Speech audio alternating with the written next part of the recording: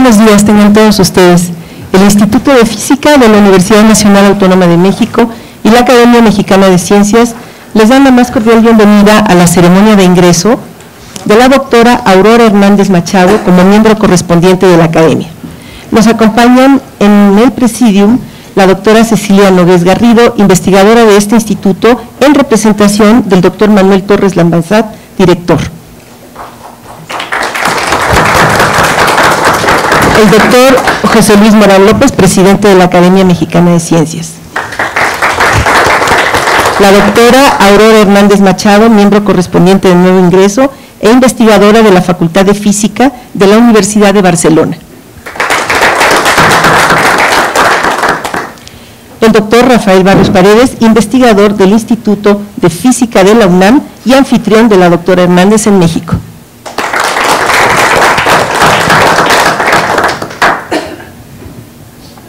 Damos la bienvenida también a los proponentes del ingreso de la doctora Hernández a la Academia, el doctor Mariano López de Aro, investigador del Instituto de Energías Renovables de la UNAM, y en algún momento a la doctora Julia Tagüeña.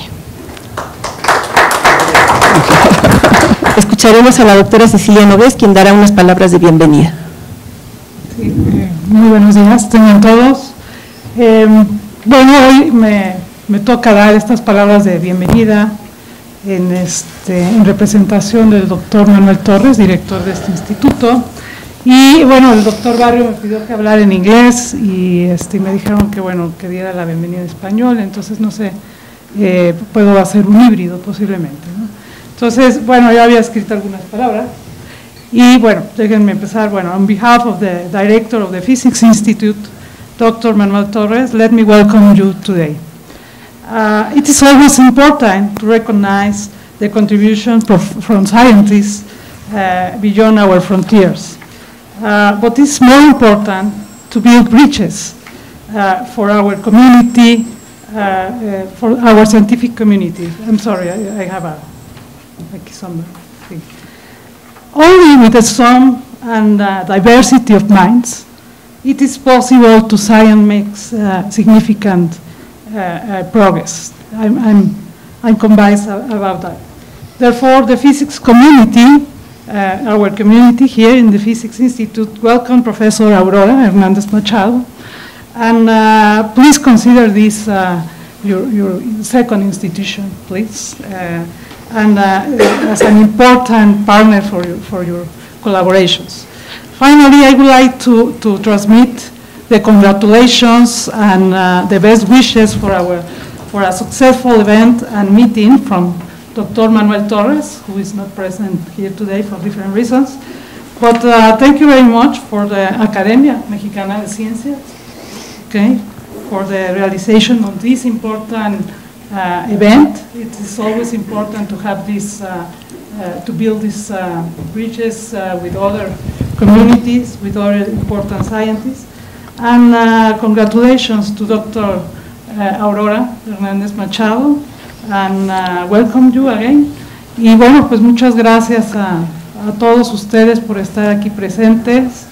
Eh, eh, es muy importante realmente eh, eh, tener a la diversidad de mentes para construir en ciencia. La ciencia, las leyes de la física son universales, ¿no? Entonces es muy, muy importante siempre estar abiertos a otras comunidades y por favor que esto no sea únicamente una, ceremonia, sino que realmente tienda los puentes necesarios entre nuestras diferentes instituciones. Y otra vez, muchas gracias por estar aquí en, en nombre del director del Instituto de Física. Gracias.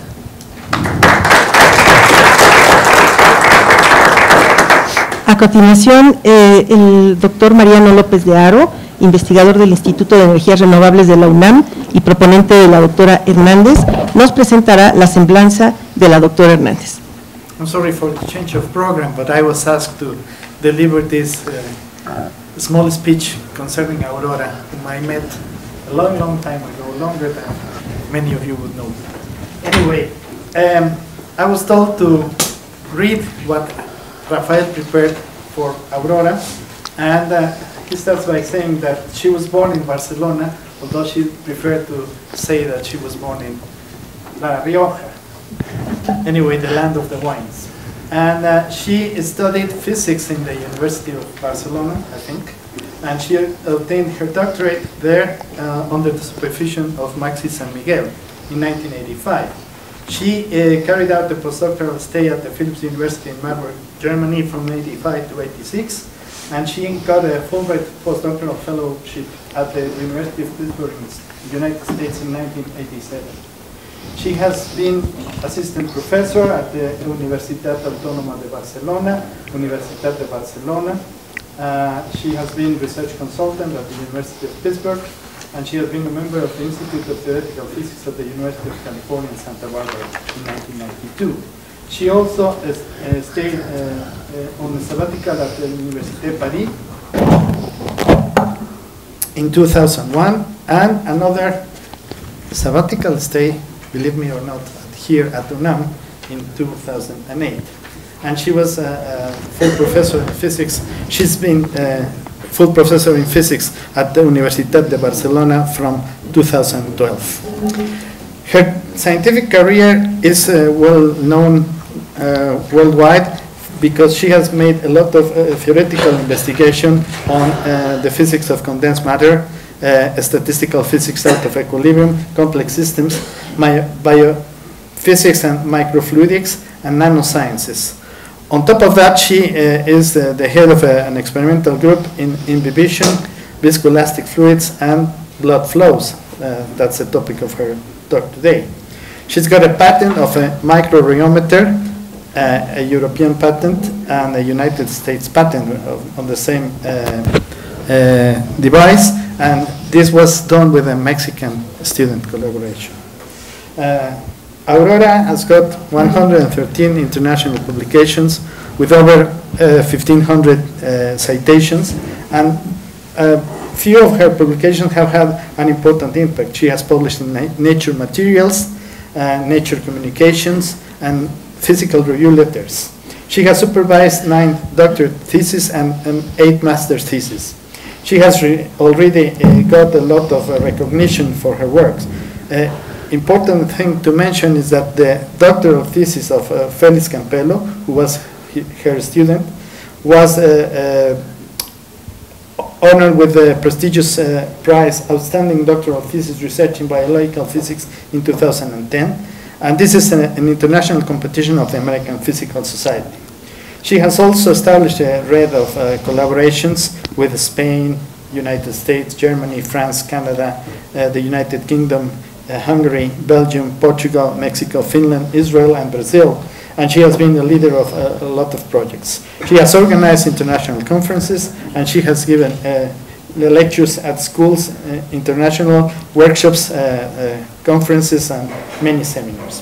Her collaborations with uh, the scientific Mexican community is vast. She started as a visiting professor in the winter meeting of statistical physics in 2002, and since she has come many, many times to Mexico, invited to collaborate scientifically, including a sabbatical, uh, a two-month stay at UNAM, invited by Eugenia Corvera from Facultad de Química. Uh, she's got a patent with uh, E. Rodriguez Villarreal, three projects, international projects of research with Eugenia Corvera, uh, Rodrigo Ledesma, and Rafael Barrio. She has directed the doctoral thesis of Rodrigo Ledesma, who uh, presently is a professor titular at the, I think it's professor at the University of Northumbria in the United Kingdom. In her lab in the University of Barcelona, she has received Eugenia Corvera many times, and she has invited Rafael Barrio and Eugenia Corvera uh, for uh, uh, short stays over and collaborations over there. She has financed the postdoctoral stay of uh, Dr. Rodriguez Villarreal, and she has supervised and financed uh, research stays for various Mexican students of UNAM. She's got 30 publications in, with, uh, uh, that she has co-authored with Mexican researchers. And uh, amongst the researchers, amongst the students, I will mention Rodrigo, of course, and uh, Felipe, and ah, of course, the uh, students, the Mexican students include Yvonne Dominguez Roman, Hernan Barrio San, Areli González Guevara, and Mireille Ramos Gutierrez, and uh, Joaquin Flores, who was a student of uh, Eugenia Corvera, and a collaborator of, of mine as well. She has spent, he has spent many times with, with uh, Aurora. So I think it's a real honor for the Mexican Academy of Science to have Aurora as a correspondent member, and I personally congratulate her on that achievement, and I hope that you will enjoy what he, she will have to say later. on. Thank you very much.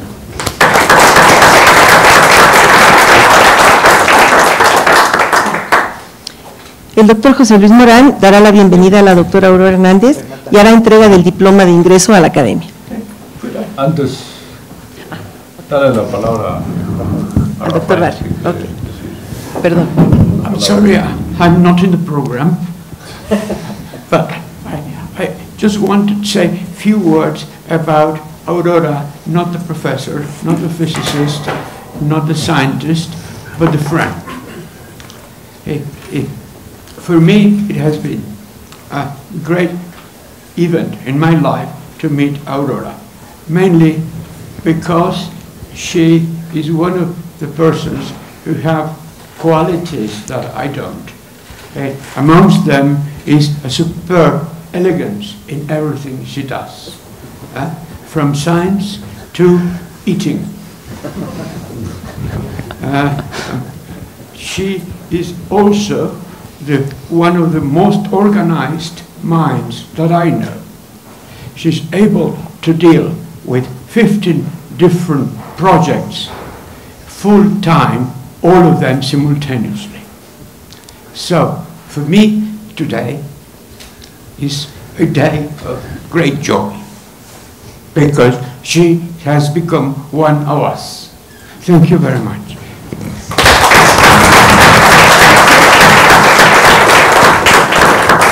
Toma la palabra el doctor Morán. Muy buenos días a todos. Eh, en primer lugar, eh, deseo manifestar mi gran gusto por estar en, este instituto que cumple 80 años eh, y esta es una de las actividades que se desarrollarán a lo largo de este año para celebrar tan importante contribución que ha tenido este instituto en la creación de la, de la física en el país. ¿no? Eh, así que me da doblemente gusto, en primer lugar, por este hecho y el otro, darle la, el ingreso este, a la doctora Aurora Hernández Machado como miembro correspondiente. Eh, quiero agradecer también eh, a Leticia este, y que por favor nos dé- le dé las gracias a señor, perdón, Cecilia Nogués. Sí. Sorry.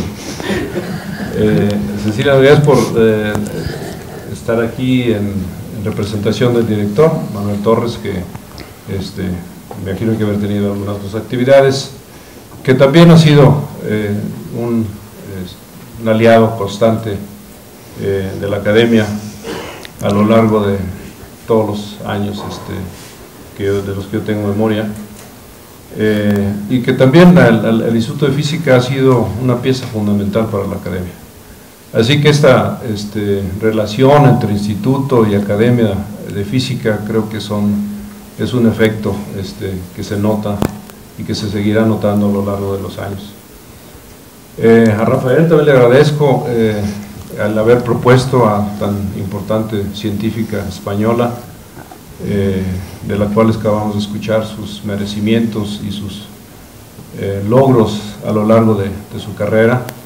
Eh, leí la semblanza que me hicieron favor de, hacerme llegar y notar que en, realidad es una científica que le gustan los retos y la, los problemas complejos.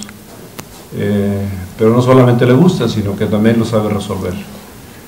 Y la relación con, con México ha sido pues también notable. Eh, ha formado gente para nuestro país, ha tenido colaboraciones con el Instituto de, Energías Renovables en, en Cuernavaca, eh, también en, el caso de la Facultad de Química de, la, UNAM, además de- del Instituto de Física. Eh, estas son las características que deseamos tengan nuestros miembros correspondientes. y en el caso de ella, pues este, vemos que es, ha sido una selección realmente muy acertada. Eh, así que bueno, bienvenida a, la, academia, nada más para dar algunos números, este, la academia, eh, el número de miembros eh, este, que forman la Academia Mexicana de Ciencias somos 2.779 en todas las áreas. Aquí no, no es Academia de Ciencias y Humanidades, sino solamente Academia de Ciencias, porque sabemos que las humanidades son, son también ciencias. Pero hay representantes de todas las áreas, de economía, de ingeniería, medicina, ingeniería, este, y es un grupo muy dinámico, es un grupo muy escogido. En el Sistema Nacional de Investigadores eh, ahora llega a, 30 mil y más o menos el 10% de ellos son los que son miembros de la academia. Eh, también este, eh, contamos eh, con 109 miembros correspondientes, lo cual este, también es un número importante y en el cual están personas como usted este, y algunos premios Nobel que han tenido relación importante con México y que también han aceptado la distinción por parte de la academia. Eh, termino simplemente diciendo que en estos tiempos difíciles de incertidumbre, de un arranque, un arranque de una administración diferente y compleja, este, tenemos que eh, seguir siendo aliados, como mencioné hace rato, este, tenemos que seguir este, luchando porque la, la ciencia se siga desarrollando. Sabemos que sin educación y sin ciencia un país no tiene un, país, un, futuro cierto eh, y creo que es nuestra responsabilidad tratar de continuar con estos proyectos eh, que la comunidad científica eh, ha emprendido desde hace décadas y que debemos de seguir consolidando. Hay mucho por hacer este, y bueno, estamos siempre dispuestos y estaremos siempre dispuestos a colaborar con las autoridades en turno, eh, pero creo que este, eh, nuestra obligación es eh, mantener y ofrecer apoyo y mantener los estándares de la ciencia internacional. Así que este, muchísimas gracias a todos por estar aquí y les deseo que tengan un, día, este, una mañana de trabajo realmente muy exitosa. Muchas gracias.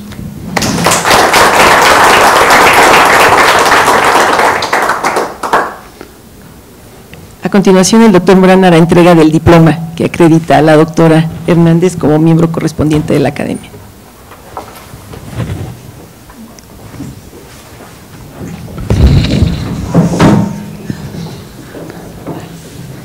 Les pedimos ponerse de pie, por favor. Pues aquí está tu diploma de ingreso. Bienvenida. Muchas gracias. ¿Eh? Enhorabuena. Gracias. Amen.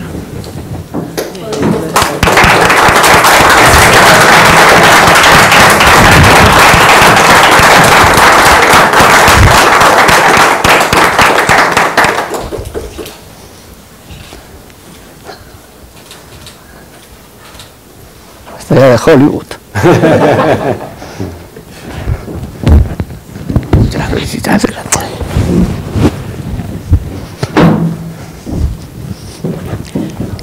Pues muchas gracias a todos y a continuación escucharemos la plática que la doctora Hernández ofrece por su ingreso a la academia.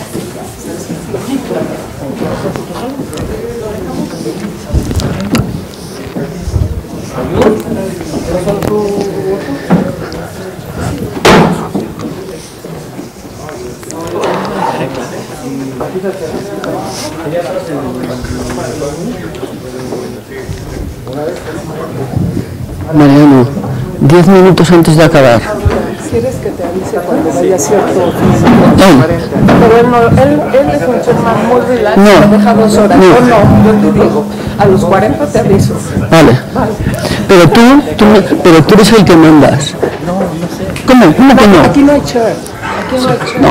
No, no o sea, es, o sea, y la Ahora que sois miembros de la academia, a ver si os arregláis un poco en este tema, sois más organizados.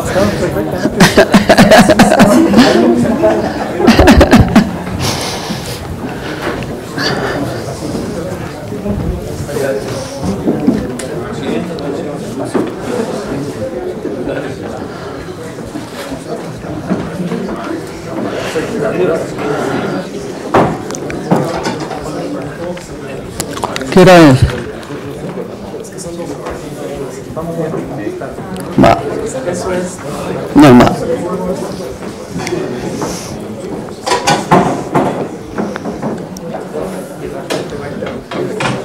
¿Eh? ¿Sí? Mira, está sentado en la mesa, en la silla de Julia, en vez de sentarse ahí.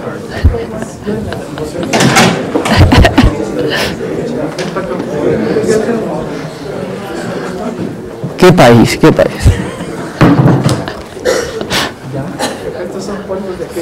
Eso.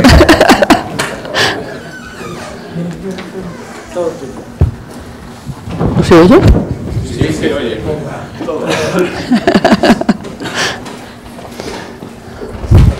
¿Ya está? Okay. Well, well, I am very happy. I am very happy when I am in Mexico. Always, I have been many times, and you know that I have many collaborators. I am, I thank really the Academia for this honor, and especially Rafael and Eugenia and uh, Julia and Mariano and Antonio for helping me to become a member.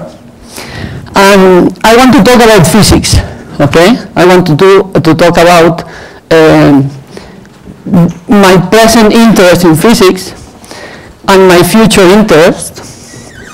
I feel very happy when I do physics, and I like very much to do physics in different aspects.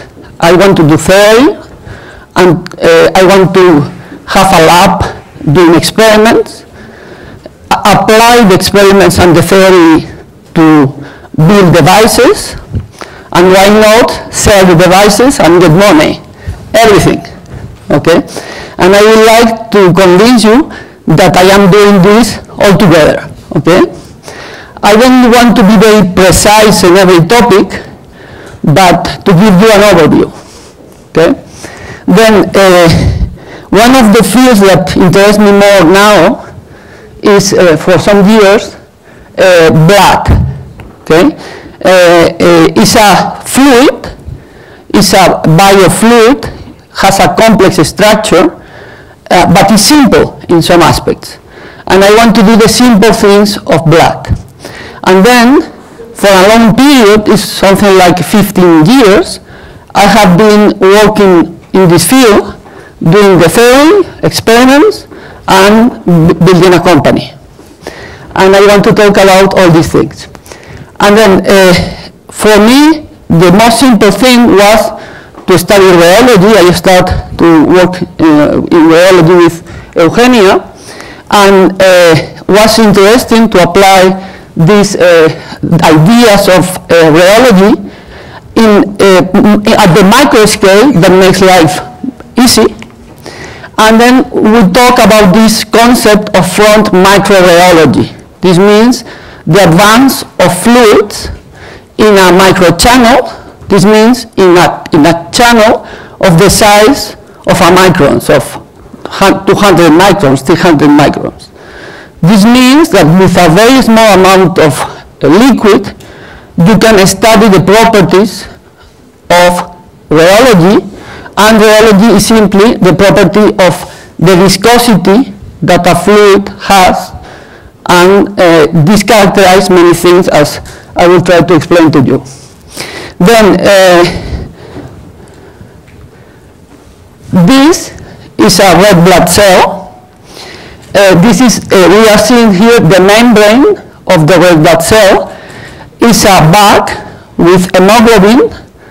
Uh, when you have in the body, is in the, in the blood uh, flow, and you have plasma that is water, you have these cells, and these cells give the elasticity, the viscoelasticity properties of blood. And uh, I, I have studied cells by itself, and then I put these cells in a fluid and see what happened with it. What are the viscoelastic properties of this uh, complex fluid that you have when you have plasma and you have cells. Okay, then I started to work in this field uh, many years ago, uh, and my motivation was, for example, here you have an uh, example of a red blood cell. This is the typical shape of a red blood cell. We call this discocyte. And immediately you can see that is, well, it's a beautiful picture. It's very aesthetic and has a property that's important that is very deformable. This means that uh, the size of this uh, cell is 6 microns by 2 microns. It's very elastic, it's very deformable, because one has to go around the micro vessels, for example in the brain, should squeeze a lot and deform, and uh, because in our case can break the vessels, and then you can have a stroke. And for example, here you have, this is the, the malaria the uh, insect that uh, beats you and give you malaria. And for example, here you have a healthy red blood cell. This is a pipette. You make aspiration and you see the deformability of the cell. And here you see that this uh, red blood cell is infected by malaria and then you, it has changed the shape, is much more rigid and creates a lot of problems when it's in the body. Okay? Then we are very interested to apply our studies to study malaria. We are collaborating with people in malaria. And the first thing that you can do is to study one cell and then put this cell in the fluid. Okay? And uh, I want to do theory. This means that I want to do mathematics. And for me, this is a red blood cell that is fluctuating, in this case by the presence of thermal fluctuations because it's at some temperature. And then you have an equation for to describe the shape of the cell. Here is the typical uh, uh, phase field equations that you have. We started to do this thing with uh, Felix some years ago. And we are now interested, for example, this term is taking into account the thermal fluctuations. The, the cell is fluctuating all the time. And this gives you an idea of uh, studying the cell of the elasticity of the bending modulus that this cell has. And this tells you about if the, if the cell is uh, healthy or has some rigidity that tells you that you have some type of disease in, in, your, in your body. Okay? Uh, then you can do theory, you can study correlation functions, power spectrum. I will not give you details, but see this is our cell uh, uh, in silico, and this is a photograph of a red blood cell, uh, really uh, a picture. And you can study the fluctuations, the shape of the cell, and you can, from this uh, procedure, determine the properties of fluctuations and the bending modulus, for example, that tells you these elastic properties. In this case, you can compare two dimensions, three dimensions, to study the power spectrum. Here is the, the bending modulus. When you are in this uh, two-dimensional symmetry, in three dimensions you have this behavior. You can do theory to determine the properties of the cell. Okay, this is only the one that I think is important to remember about the problem. Then, for example, this is a typical example that is uh, uh, biophysics in which you have uh, budding and tubulation. You have this tubulation produced by a protein. And in our case, we have the numerical simulation, and you see that you have tubulation here that is growing, and we want to compare this type of experiments. And you can also do vesiculation, like you have, for example, in the Golgi apparatus, here you have a vesicle that is disconnected from the bulk, and this is, for example, when you have garbage in your cell and you want to take to do exocytosis, and then you take the garbage inside the vesicle and go out. This means that with a mathematical model, very theoretical, you can determine properties that could be applied to determine the properties that you have in biology. This is our main goal. Okay, this was one cell, but now we want to go to study a group of cells. And what happened in this case. And for example, here we have, this is, these are the cells, the red blood cells, this is the fluid that will be the plasma, and in this case you have a sample that you look at the microscope, a simple microscope, when you have made the extraction of blood after five days. After five days, you start to see this aggregation that uh, people call the coins or rouleau. These are these structures that aggregate in lines and create a lot of problems is the pre-existence of coagulation in some way. Okay? In a different field, for example, that we have also been studying, here you have the examples not of red blood cells, but uh, uh, white cells, and you can have you can study cancer. For example, this liquid cancer that is called leukemia, and with also with uh, the blood with uh, leukemia, you can the objective will be the aim will be to determine to di to make diagnosis of this type of cancer in a very simple and fast way as I will explain to you. Okay, then foil, and then why not to start to do experiments. And then we were discussing with uh, Tomás Alarcón, he's in a center of mathematics that is called Centro de Recerca Matemática, and then uh, he told me, we have a space in our center to build a lab, and we have money to buy a microscope and, and I say, a rheometer also? This is a rheometer. Okay, let's do experiments. And here you have the microscope. This is a fast camera, really very good camera. And my idea was always to study situations very simple. And the idea is here, this is the experiment, and here you have the microchannel. This is the microchannel. I want to do all my physics in this size, okay? This is the experiment. Here you have the chip. This, this is the, the, the, power, uh, the, the, the picture. And you have a front moving inside the microchannel. Here you have, this is, you are seeing from above, you see this is one millimeter. The height of the microchannel is 200 microns, and the length is 4 centimeters. And then the idea is you have, you restart in this way, you start with a microscope, you see, you push the fluid, in this case is simply water, you put water, you have here the interface separating water and air, you push with a pressure, and you see what happens to the velocity of the front. And for this reason, I call this front microrheology because I will study the viscosity at uh, uh, the microscale and we will study this uh, viscosity studying the velocity front. And this makes life very easy because with a simple microscope you can determine this velocity. It's not like when you do PIV, particle image velocimeter, you will need particle, test particles that tells you what is the velocity. Here, this is something that is one millimeter, is very simple to detect, and it's a possibility to detect and determine the viscosity as a function of the pressure and the velocity of the front.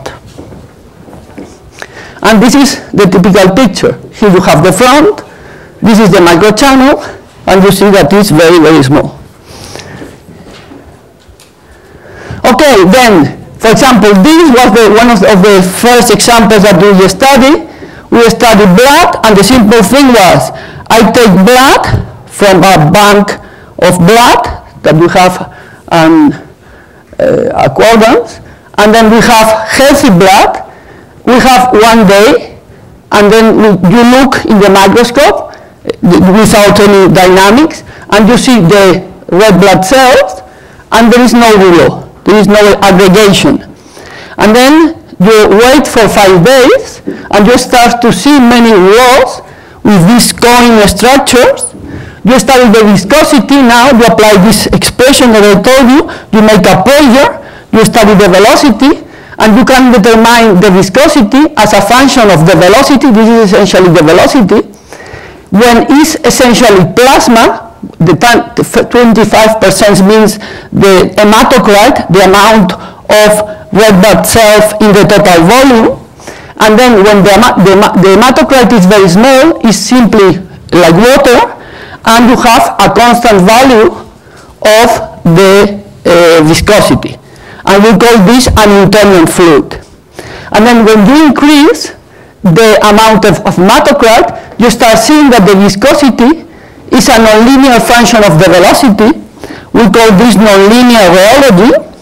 And when you wait for five days, is for small velocities, the viscosity is very large.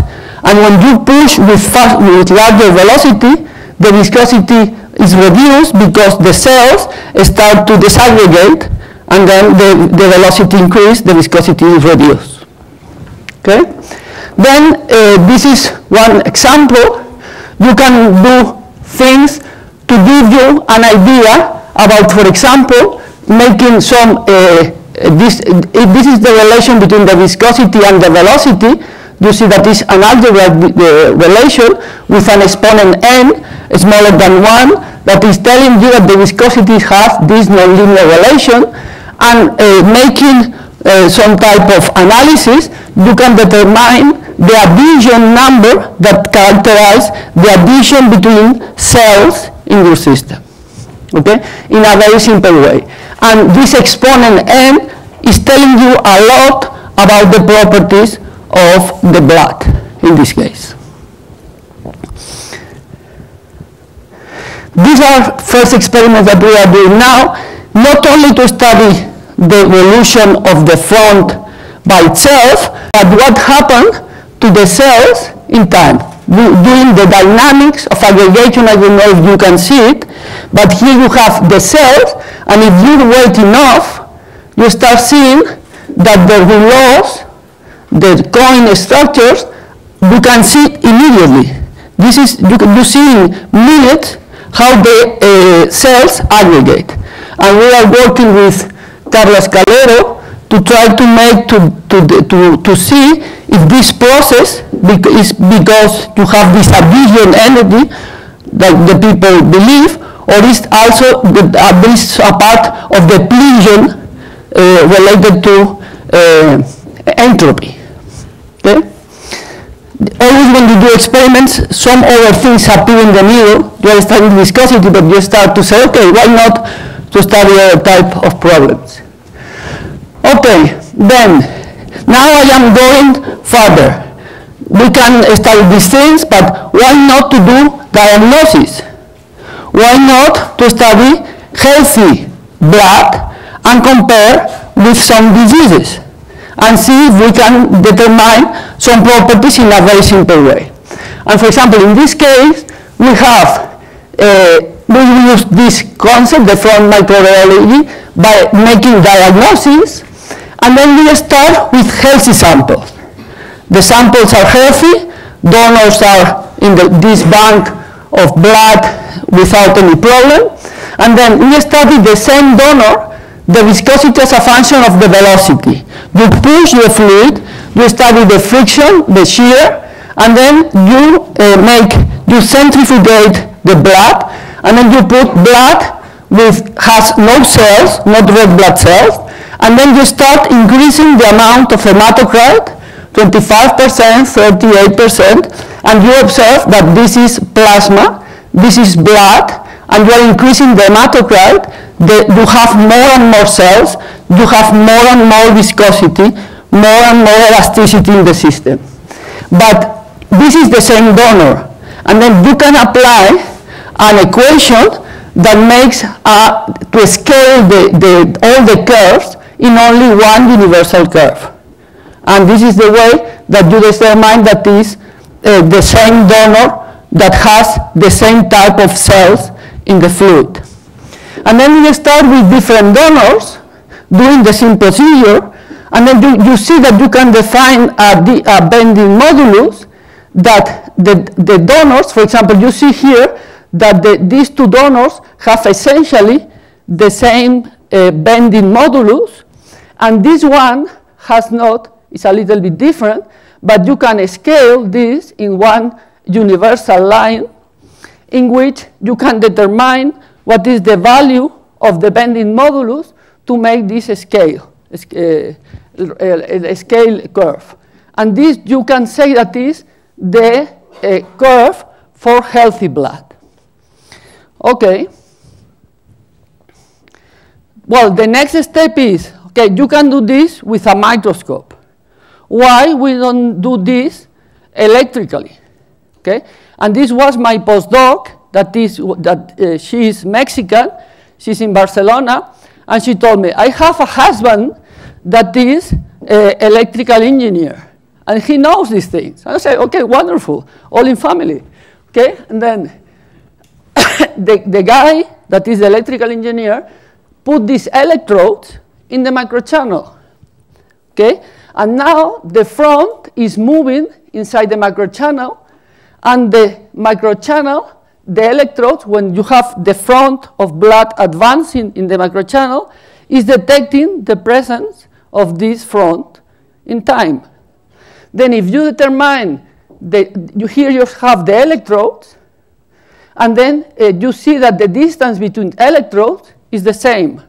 And now you simply determine, calculate the time that the uh, front takes to move from electrode to electrode. And from there you determine the velocity. And then here you have an example. Look at that. This is telling you that you have the front advancing. And here the front will appear. The, that's it. Okay, then we say, okay, why not? To make a patent, we send the patent to Europe, and they just say, okay, this is original, and now our, we have now the US patent. I have to say that the help of Center of Research, of mathematical research, has been very, very important because to do all these things is very complicated, very bureaucratical, and they did everything, okay? And this is very important. Now, but we have the, the, the title of the patent is um, uh, Methodus, Application, and Device to do blah, blah, blah.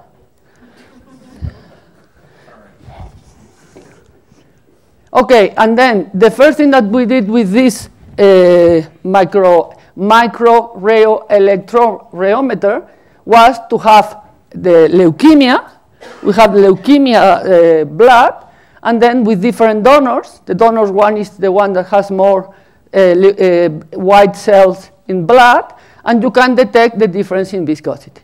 And you see the viscosity has this nonlinear behavior with exponent n is more than 1. Okay? Okay. Well then, uh, now we can start to work with different diseases. And we have to prepare a well-defined apparatus to study that. And this is the apparatus to start. Here you have, now we have not anymore the microscope. We don't need uh, anything very fancy we, need, we have here the red blood cell sample with uh, plasma. The blood is here. Here is the tube. These are, this is the microchannel with the electrodes. This is a national instrument card that is connected with a PC. And then when the, the front is moving in the microchannel, this thing detects the, the signal and makes the prediction. This is the thing. Here you have the sample you have a pressure, a pump, that is pushing the fluid, the sample is going to the microchannel, the car is telling you in the, micro, in the terminal of the computer that you have this velocity. Next step, let's contact with different uh, uh, foundations, uh, laboratories, everybody that is related to blood in the near of Barcelona, Vall d'Hebron Clinic, the Josep Carrera, the Leukemia, Josep Carrera Foundation, all very interested to have their samples to be studied in our group. And then we don't know now what to do with all these samples. It's crazy. I mean, so many samples that we have no time to do all the calculations. But okay, this is a problem we have to arrange. Okay, and then this is something that I have not to say because this is confidential. Okay? But we have here we have here blood that is irradiated and uh, with cesium and has some implications because uh, they say I have these friends uh, told me that they, they work in uh, blood with irradiation. Uh, they told me that well this is you don't need you don't have to say anything about that because it's, it's something uh, strange I mean, it's confidential, okay? Why? If in Paris you have a bomb with cesium or uh, any uh, reactive uh, uh, bomb, and uh, you have 20,000 people affected by that, okay? You need 48 hours to detect if you are sick or not. And you can, we, with our procedure, can detect this in five minutes. Okay, have some implications. Okay, then what is this? Here we have irradiated blood, very small amount of blood, and for example, this one is with no uh, radiation.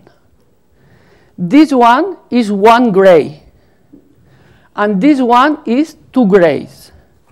If you have five grays, you are dead. With two grays, you could go to the hospital. They tell me these things. And one gray is difficult to detect. And here are the results. And you see that for small velocities, the viscosity is affected by that. What it means? This means that when we were discussing about that, the radiation uh, creates, uh, affects the membrane of the red blood cell and makes the red blood cell more rigid. And when the, the velocity is uh, small, this that is the, the, the one with a lot of radiation uh, has a lot of viscosity. And when you increase the, the, the velocity, many cells break, and then you cross the lines in the other direction. The one with more radiation go here, and the one with less, no radiation go to the other side. And these are the first steps to uh, study radiation in this way. Okay? Well, these things look very exotic, uh, but we are doing this, I mean, this is serious people. And they gave, they gave us the samples, and, and they say, I don't tell you what is the gray. If it's one, two, five, or 10. And we have to be like crazy. And, and A, B, C look like, like a, a quiniela, no? I mean, very strange thing. Excuse me, the, the red line could be consistent with the other two at large uh, shear rates. At, at large shear rates, and now the viscosity is smaller for the large gray, I mean, for the last variation. Uh, what I'm saying is that you could also find another red curve which uh, looks more like the, uh, the blue and the, and the green ones at the large shears. Yeah, but look that we are very interested in the small shears. Huh? We want, we want to, to describe the, the effect because it's when the, the radiation is, is makes the viscosity large. Here, no, the cell. You cannot because the reason why it goes down is because you break the yeah. viscosity of a, a, a, solution with broken cells is less viscous mm -hmm. yeah. than normal. Yes. Yeah. Yeah. So at this share, you don't break cells in a in a non-irradiated sample, right? Yeah. Okay. Yeah. The, for this reason, doesn't change. Yeah. So, yeah. Okay. Okay. Then this is eh, a other samples that I don't know how. Okay. Okay, then this is a collaboration with a foundation of Josep Carreras. Josep Carreras, probably you know, he's a tenor in the old times. And he, he had leukemia. And he was, he's very rich. And then he decided to create a foundation that is called Josep Carreras to study leukemia. And it's a very important center. And then uh, we were talking about this possibility to, to have samples of uh, uh, diseases, and they were very happy, okay? And then uh, the first thing that we are doing is to study uh, uh, diseases. Now we know that you have, the sample has a disease that is related to hemolytic anemias. These are anemias. This means that the blood has a small number of red blood cells, genetic, in a genetic way, okay? And then, uh, in this case, for example, in the disease that is called spherocytosis, is because the sample is not, uh, it has not shape, the red blood cells has not the shape of a discocyte, but are more spherical or elliptical, okay? And for example, here you have the healthy ones, and uh, here, for example, you have you are increasing from uh, the discocyte to the elliptical to the spherical, and the viscosity is changed. These are preliminary results in which you see this effect. Okay? Uh, this is mm, the first group that will have our prototype to make the thing, uh, uh to, to have a lot of samples, because they always have a lot of samples to study this thing. And other example, tell me. Why don't you have a similar behavior when the, you have a healthy cell that the viscosity becomes more or less constant? Why do you have this? Because this is very large. Here. Yeah. Ah, because yeah, because here the viscosity is incredibly large. I mean, here you have 10 millipascals per second, and then the, the scale is different, okay? And for example, this is xerocytosis, that is, uh, the, is another uh, genetic anemia, and it's because the, uh, the red blood cells lose water. It's deshydrated, okay? And then immediately you have the effect, I mean, all other time you have uh, the, the, the, the effect, this is the case with plasma, without not, you don't have the, the, the cells, then this is the healthy one, here, the, the xerocytosis makes this value, okay, the scale is over time changed, and you, have, you start to see the first effect in this case. This means that with different uh, samples, with different uh, uh, problems, uh, thrombocytosis, this is another collaboration with the Hospital de San Pau. Uh, in this case, you have uh, coagulation, ag agglomeration, and other time you have plasma healthy and uh, thrombosis, okay, and you see over time the effect. Okay, then let's change a little bit. Uh, now we know that, it, yeah. Different diseases have different dependencies. We are studying this thing. We are studying this thing. Exactly. Yeah. But uh, in principle, the first uh, results that we have, it, it, we are comparing the curves and they look very different. And we have the comparison of these curves to curves of different apparatus, for example, in Josep Carrera and all that. And for example, they change the amount of salt that you put in the fluid, and you have results, and we can compare with that and make, we need more time to finally decide what is the exponent. But I, I have a, a bio uh, engineer in my group that she's doing the experiment, and I told her, but yeah, but we will say N and M is 0.1, point, and she's a biologist, and she said, well, it's like a chemical analysis when you take blood in analysis, no? You have a problem in your kidney, is that N and M give some value. This will be the same, okay? Now I will tell you about the apparatus. Okay, then, uh, let's go a little bit back to equations. This is a, a, a, a dynamic equation giving you the evolution of a red blood cell uh, in a microchannel. This is a parameter that tells you where is the red blood cell, move with a velocity v pushed by the plasma, has a chemical potential that is the de derivative of a free energy that uh, has this uh, uh, bending energy here, the conservation of area uh, in this term. This is Navier-Stokes equation with mass as acceleration, the, the gradient of pressure, the viscosity, the coupling between the cell and the chemical potential. This means that we can go back to theory and we have this result. We have uh, these recent results with more cells.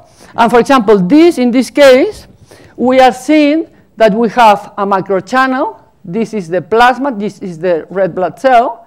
And in this case, you see that the, the cell change the shape and move out of the center of the channel, and in this way reduce friction. And when you study the viscosity, you see that in this case is the uh, bending uh, energy that is changing because the, the morphology is changing, the position is changing, the orientation is changing, makes this nonlinear uh, effect between the viscosity and the uh, bending number, okay? And now here we have done this for many cells. And uh, the most interesting result here is that when you have one cell, it takes an orientation out of the center of the channel. When you have many cells and you increase the velocity, this is increasing the velocity, they cooperate one to the other and become more horizontal. They don't have this angle. Okay? and the viscosity is also nonlinear. Okay? Okay. My company. What is the reason why it's larger in the front To reduce friction. It's, the, it's, the, it's, it's, called a slipper. You see also experimentally. I mean, the, the way is, is uh, when, you when you have the, the bending energy that minimize the shape, lose the, the, the symmetry It's, is the slipper. You recover the symmetry when you go to very large velocities. But there is a transition in which the, the shape is not symmetric, it's got a slipper, and you observe experimentally also. Okay, this is my company. I am very happy about that. And it is called RIO. RIO means in Greek motion, and this means the diagnosis by motion. Okay? The, the, the river Rhine in, in, in Germany comes from this uh, origin. It's moving. Okay? We want to study the motion of fluids and make diagnosis. Okay? And then in this uh, company, we have the center, the university, and ventures, that is this uh, uh, uh United States Foundation that organized this universal meeting about mobiles in Barcelona. That is a very big event. And his the headquarters are in Barcelona, and we have a space there. They uh, make, they give us money to be there, and this is the program, and all this together makes the company. I am very proud about that. Also, we have now we, we were start. We were four in the company, now we are seven. And uh, I am Sims, the research strategist. Okay? And this is my this uh, uh, uh, graduate student doing biology. This is master administration, and this is an engineer. What is the thing that we are doing to make life simple? That. Okay? This is the apparatus and we want to sell that like an espresso machine, an espresso machine, smaller, okay? This is very cheap. This is plastic. It's very simple and tell you, tell you hello, okay? It's a display here and you push the button, say welcome.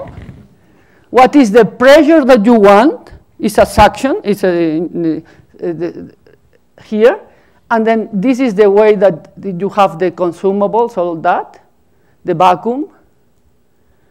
You see, here is the, the, the chip that you put, that is, that is the capsule that you take out, and this is the price, that important thing that you buy, very cheap, but you buy, you put the, the, the chip inside, you cross, and you put the drop of liquid that go through the microchannel, study the velocity, and gives you the curve.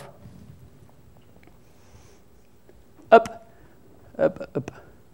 And we are trying now, this is the machine, we are trying to do different things. This is a collaboration with another group to make things simpler. And for example, in this case, you have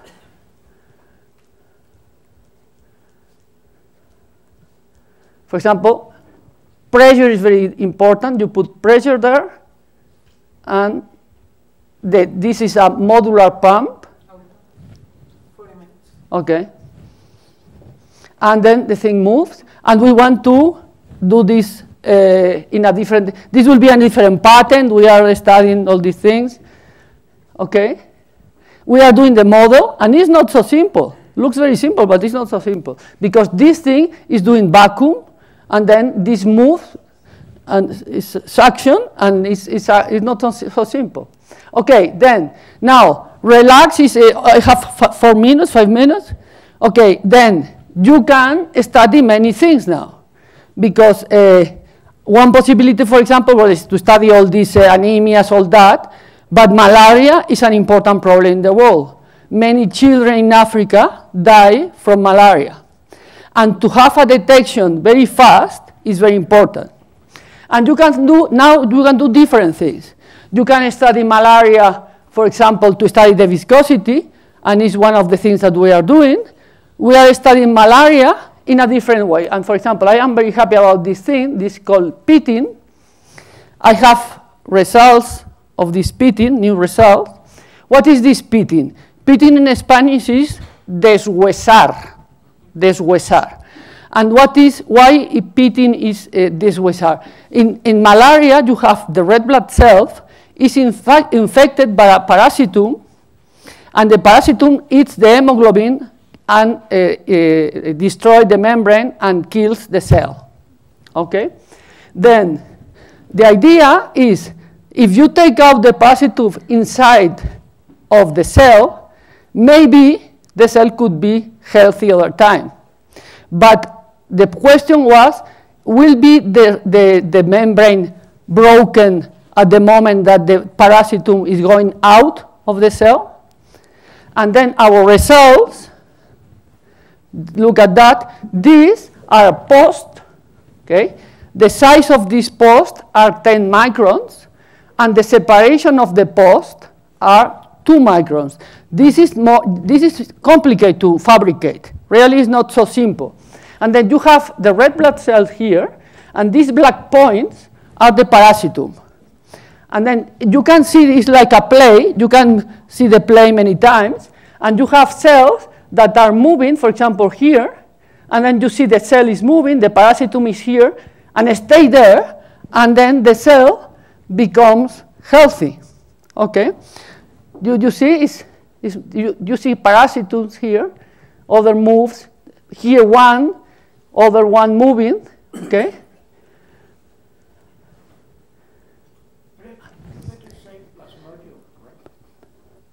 Plasmodium. Okay. And then here you have fluorescent microscope images in which you see these cells have been, they are fluorescent when they had plasmodium at some point, and after to be in, the, in our device, it has been cleaned, and there is healthy other time.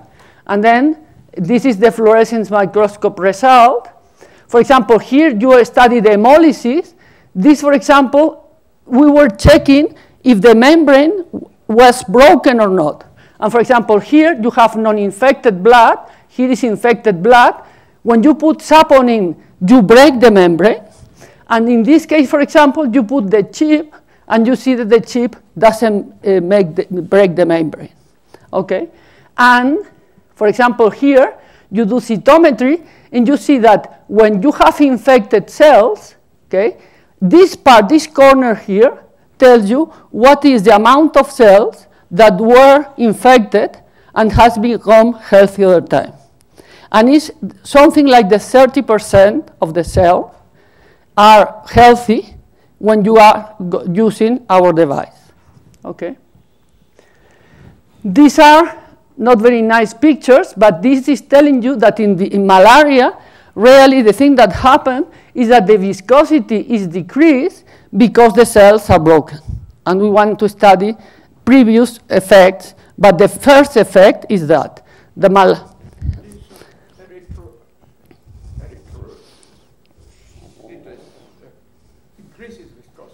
Yes. So in different stages Yeah, increases viscosity, but when the velocity is very large, are broken. Okay? And this is the last picture, and this is an artificial spleen. Here you have the post, and a spleen in Spanish is bazo. Okay? Bazo cleans the cells when they are not healthy.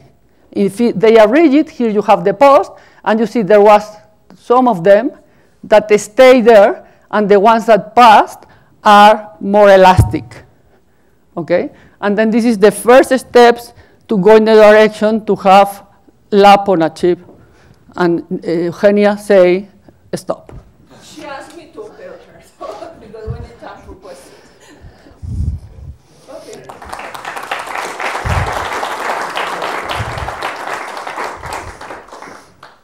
So it's not that I'm being the boss. Actually, I am following Aurora's instructions, so I would like You're the boss now. You are. Now I'm the yeah now. okay. Thank. Is is this working? Yeah. Mm -hmm. Thank you for this uh, spectacular talk. Very nice, Aurora. And thank you all for being here. So, uh, time for questions. Cecilia, please. Uh, thank you for the talk. Um, I have a very simple question. Uh, the, the cells are um, uh, of the size of microns, as well as the, the microchannels, or at least this this uh, last. So, which is the limit of the Navier-Stokes uh, equations? Because it's uh, to deal with this. Yeah, I mean, it's, uh, really, Navier-Stokes uh, aguanta lo que sea. Okay. Navier-Stokes is always true. no, because uh, you are thinking in a continuous, huh? no? You are, you are thinking in a continuous meaning, uh, but uh, with the red cells, which are the same size of the microchannels, probably you have to take into account different, is, is different I mean, things. This, this paper not. by Binder some years ago uh, asking about this question, and he says with 10 cells, 10 particles of this size, it, still Navier-Stokes is working well. I mean, okay. it's very robust. Yeah, well, actually, in nanoscience, also the elastic uh, theory is very robust. Yeah. It's amazing. And, and, and another simple question. For example, if you take the blood of uh, a kid or a child or, or uh, an adult, uh, whatever, uh, it's still very robust, the, the, the kind of, I mean, how, how, much specific is this well, test? We have not tried child because maybe somebody will tell us something. I mean, uh, we are using uh, donors from an anonymous donor from the very beginning, and now that we have the connection with these foundations and this lab, we know, but all are adults. But I think, I mean, the effects, the, we are always looking at the effects at the membrane. And for example, uh, the biologists were discussing if, if it's a male or a female, it will be some effect. In principle, it seems that we are, uh, Eh, because in, in the case of irradiation, we have the two collaborators of mine are giving the blood of the, and we know that and she was happy to demonstrate that she is the same as the man. Our blood is the same, we're lucky. Question? One second. Thank you very much for your talk. It was very interesting. Uh, the question is, I think still you have to introduce the tension forces uh, the- that are scale related. And there's maybe there the potential of, uh, in the, in the- in the other, in the other. tension, you mean, Yes, or line tension? yes. Yeah, we introduce line tension to be sure that the membrane, that the area of the membrane doesn't change. Because it's full, I mean, it's, it's the, it's inter, the, the, the li- lipids of the membrane are fixed. I mean, with uh, Rafael, we have, um, have other models in which we take out this condition uh, because, for example, you have a bacteria or something and then you want to create a, a, a wall and then you take out the surface tension condition. But here in the, in the, in the cells, you have uh, the, the surface tension like a Lagrange parameter to ensure you that the area is fixed. And also the volume is fixed. These are the two Lagrangian parameters that tells you that, that you need to, to use in, in, uh, in cells. So the, the other question is related to the, to the market plan of your device. Is, is it expensive? It's very, very cheap. I mean, uh, I start the device with a, a programa del Plan Nacional de Física in Spain. This means that it's nothing. Okay? And then uh, my collaborators in the, in the, in the company, they ask me, they call me and say, well, it's the, the end of the company. Why? What happened? They told us that the chip is 100 euros. I say, forget it. It's 55 cents. And then this was the five, the two, the 100 euros was in Catalonia. And in Slovenia, it's 25 cents. It's nothing. Very cheap. And in China? Well, the, pro- the problem is that the patent, the patent is very expensive. And we decided to have the patent in Europe and in United States. And I asked the medical doctors, and home maybe will not be happy, but say, we have to patent in China. And they told us, forget it. For medicine, it's not important because we don't care about them. And then we have not the patent in China. Home, what do you Because think? they will make their own patent. They will not respect. Oh, she's expecting a reaction from you. No, she didn't. patent is something that if you can defend. If you couldn't defend, you The, the, the important thing of our patent that we are very proud because you can do a patent uh, without uh, ex- exploitation and then it's like a paper. It's nothing. It's a publication. We have our patent uh, that is an exploitation by our, by our company. And then they pay all the price of all the, in all Europe and will be in the United States. It's very expensive, but we will do that. Uh, James, please. Well, I guess we could talk about commercialization over lunch, since that's something I'm, I'd like to learn from your success, having had some many failures of companies that I've started over the years. Uh, But uh, I was going to ask you a question about uh, consistency. Uh, You have these nice results for blood samples. If you sample the same pa- person at different times of day, when they've eaten and they haven't eaten, what do you see? Because when you think about diabetes, diabetes has a, diabetes has huge effects on uh, vascular function, and we know a fair amount about how it affects the blood vessel walls, but it also affects blood properties. And I was wondering how much you might be able to use Yeah, it's very methods too for important, the diabetes. protocol. The protocol is very important.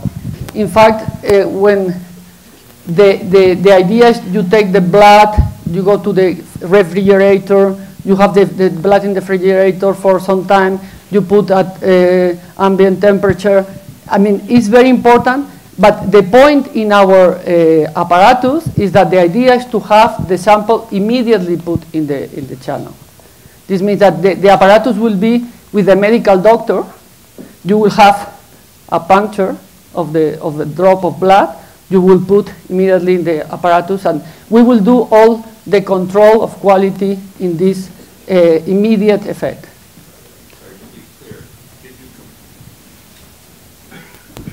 Have you compared your analysis for fasting and non-fasting blood? Yes, and, and, the effect is, is very important. And so you see a big difference? Uh, you, uh, immediately.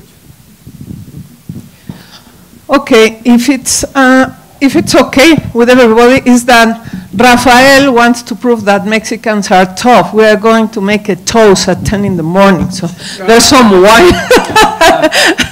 So do we thank Aurora for her wonderful talk again, please? And we'll continue the discussion. Vale. Toma, ya anuncié que vas a hacer el brindis. Ah, ya lo anunciaste. Ah,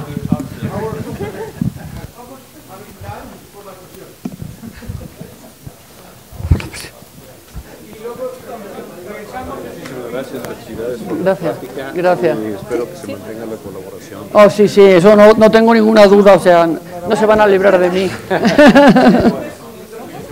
Gracias. No sé. Sí, sí, por eso. ¿Tú quieres probar esto, no? No.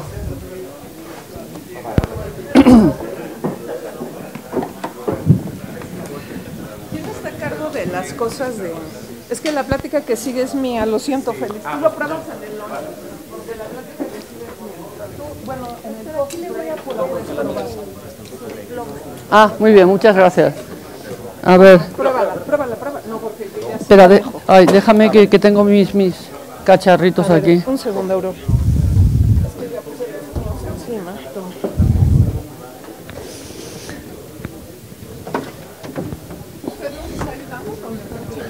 A ver. Yo tengo por aquí. Uy, a mí se me oye todo, ¿no? Perdón. Sí, sí, ¿me, ¿me puedes desconectar eso? Esta es la mía. Sí, vas con el micro, ¿verdad? Vale. Sí. Tengo el, la- el conector también. Ah. Bueno, Muy bien, Aurora. ¿te ha gustado? Sí. Bueno, mucho. Ya soy medio mexicana. Bueno, muy bien. Ya lo era, pero... Ya, y con todos estos atuendos mexicanos. Ya va. Vale, gracias.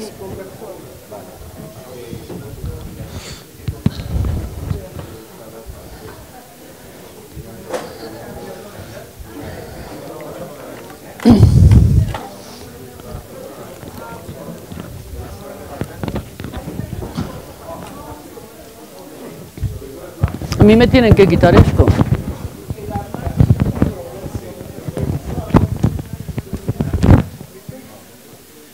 Eugenia, tú tienes esta cosa, ¿eh? Si quieres. A ver, ahorita me. Mira, lo dejo aquí.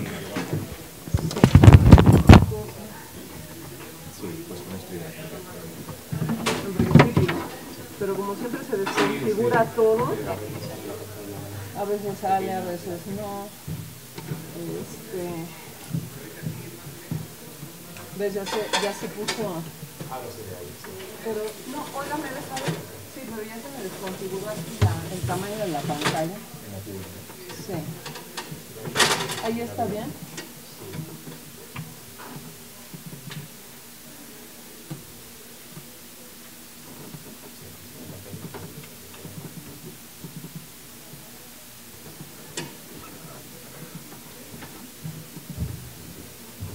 A ver, espérame. ah, es que me prestaron me prestaron aquí conoces este, cómo funciona.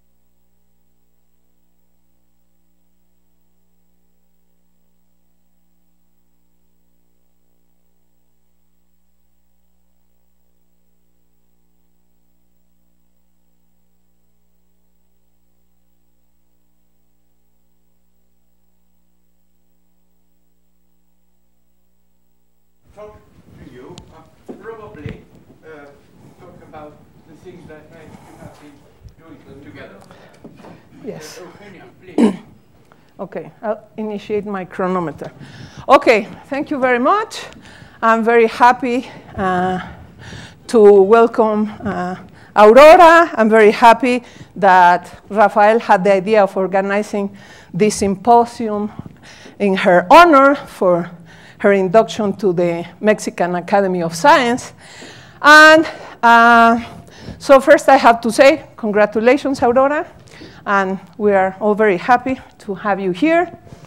Uh, also, I would like to uh, tell you that since the idea of organizing the symposium was uh, Rafael's idea, Rafael asked me to talk about the history of my collaboration with Aurora.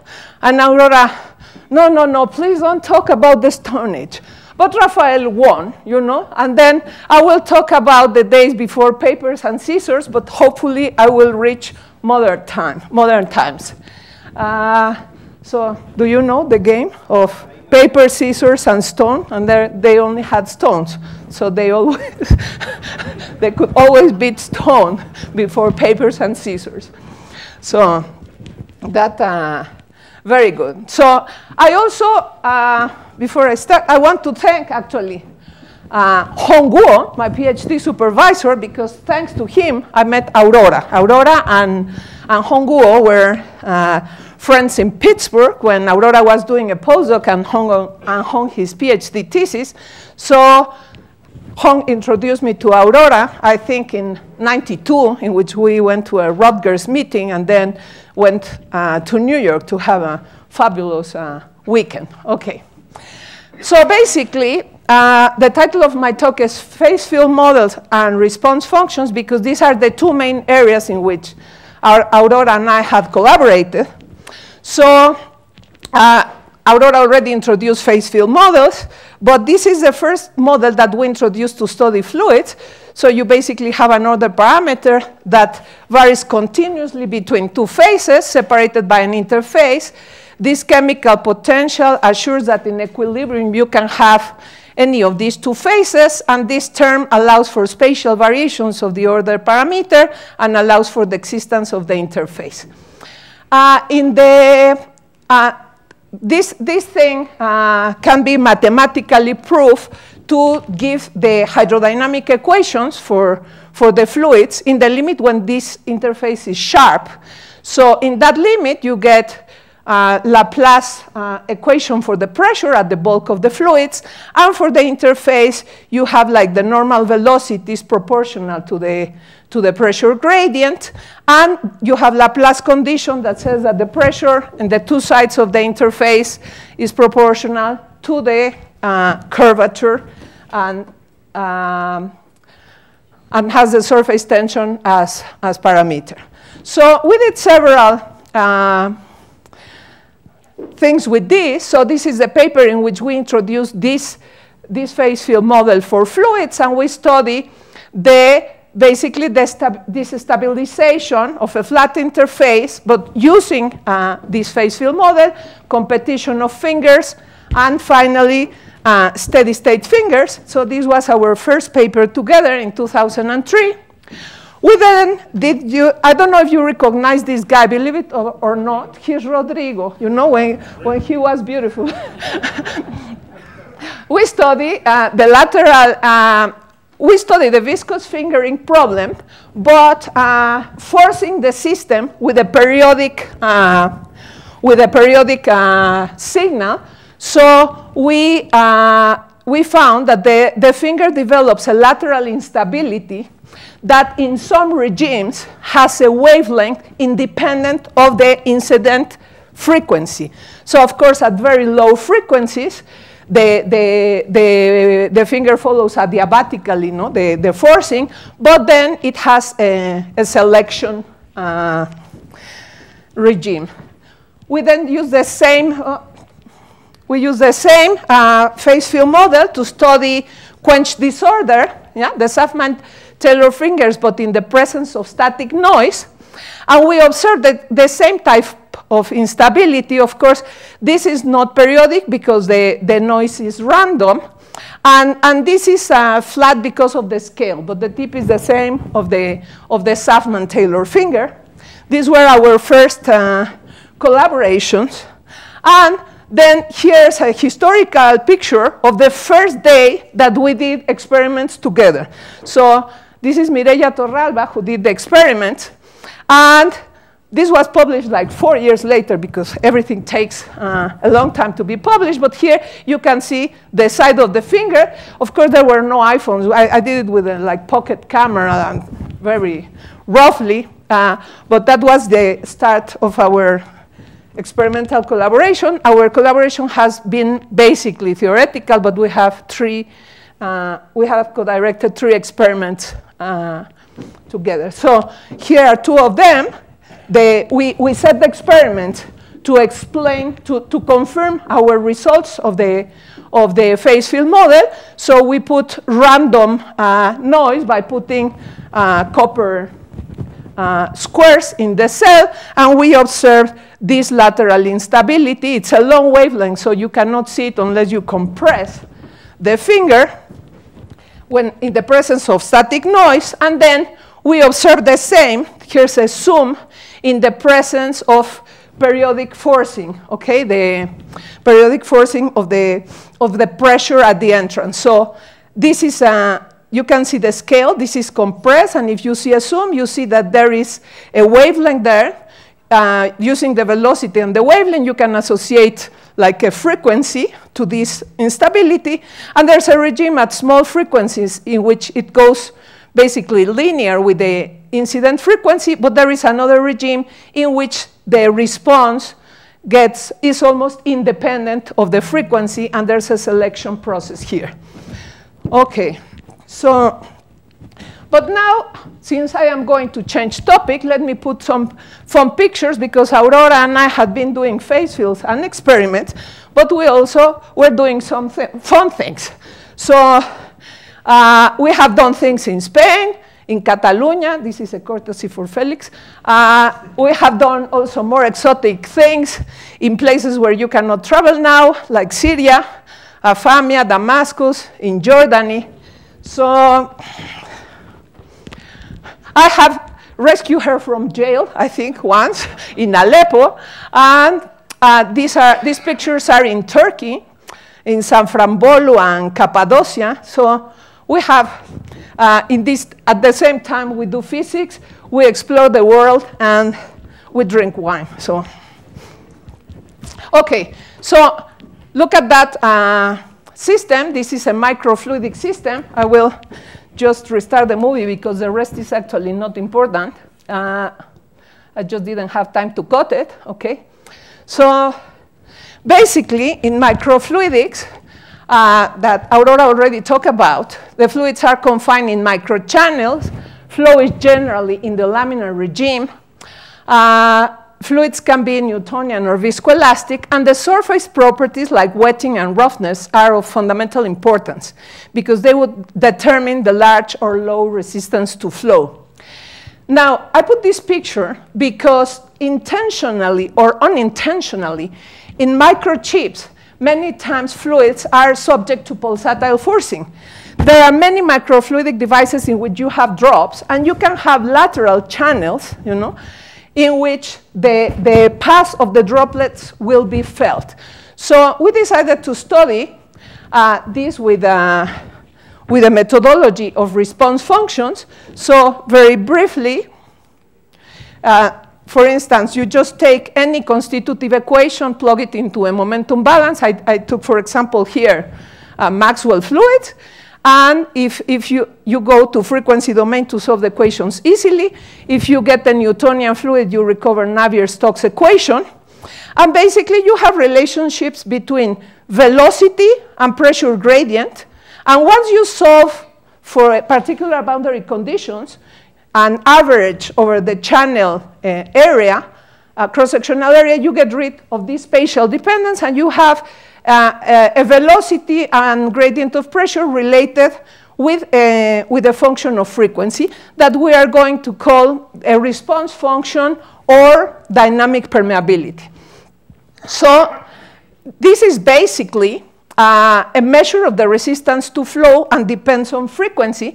And just to give you an idea of how it looks like, for Newtonian fluids, it decreases monotonically. So it means that if I do the forcing with this frequency, the, the magnitude of the flow will be higher, like this, the blue arrow corresponds to this magnitude of flow. If I pulse with a higher frequency, since the response is smaller, the magnitude of the flow will be smaller, okay? So this had been uh, used in all time, uh, yeah, and then for viscoelastic fluids, this response is non-monotonic. So if you pulse at the frequency that maximizes the permeability, you get the highest flows. If you pulse uh, at other frequencies, you have smaller magnitudes of flows. So Aurora and I have used this uh, for several things. So for instance, a proposal to measure dynamically the slip length in Newtonian fluids. So we basically propose to do two, two different cells, no? because of the scaling properties of the equations, we realize that if you measure in, in different cells with different lengths and different frequencies, you, we can have this ratio and determine the slip length, which is an alternative because slip length is hard to measure normally because people measure milliliters per minute, you know, to, to determine which is the, the slip length in a system. We also use this uh, to stratify a fluid. So here you have uh, a microchannel, and if you drive the system at the resonance frequency, this can be split in three, five, seven different virtual microchannels, which are channels within the real physical microchannel. So in principle, you could be testing different things. You could have different tracer particles here.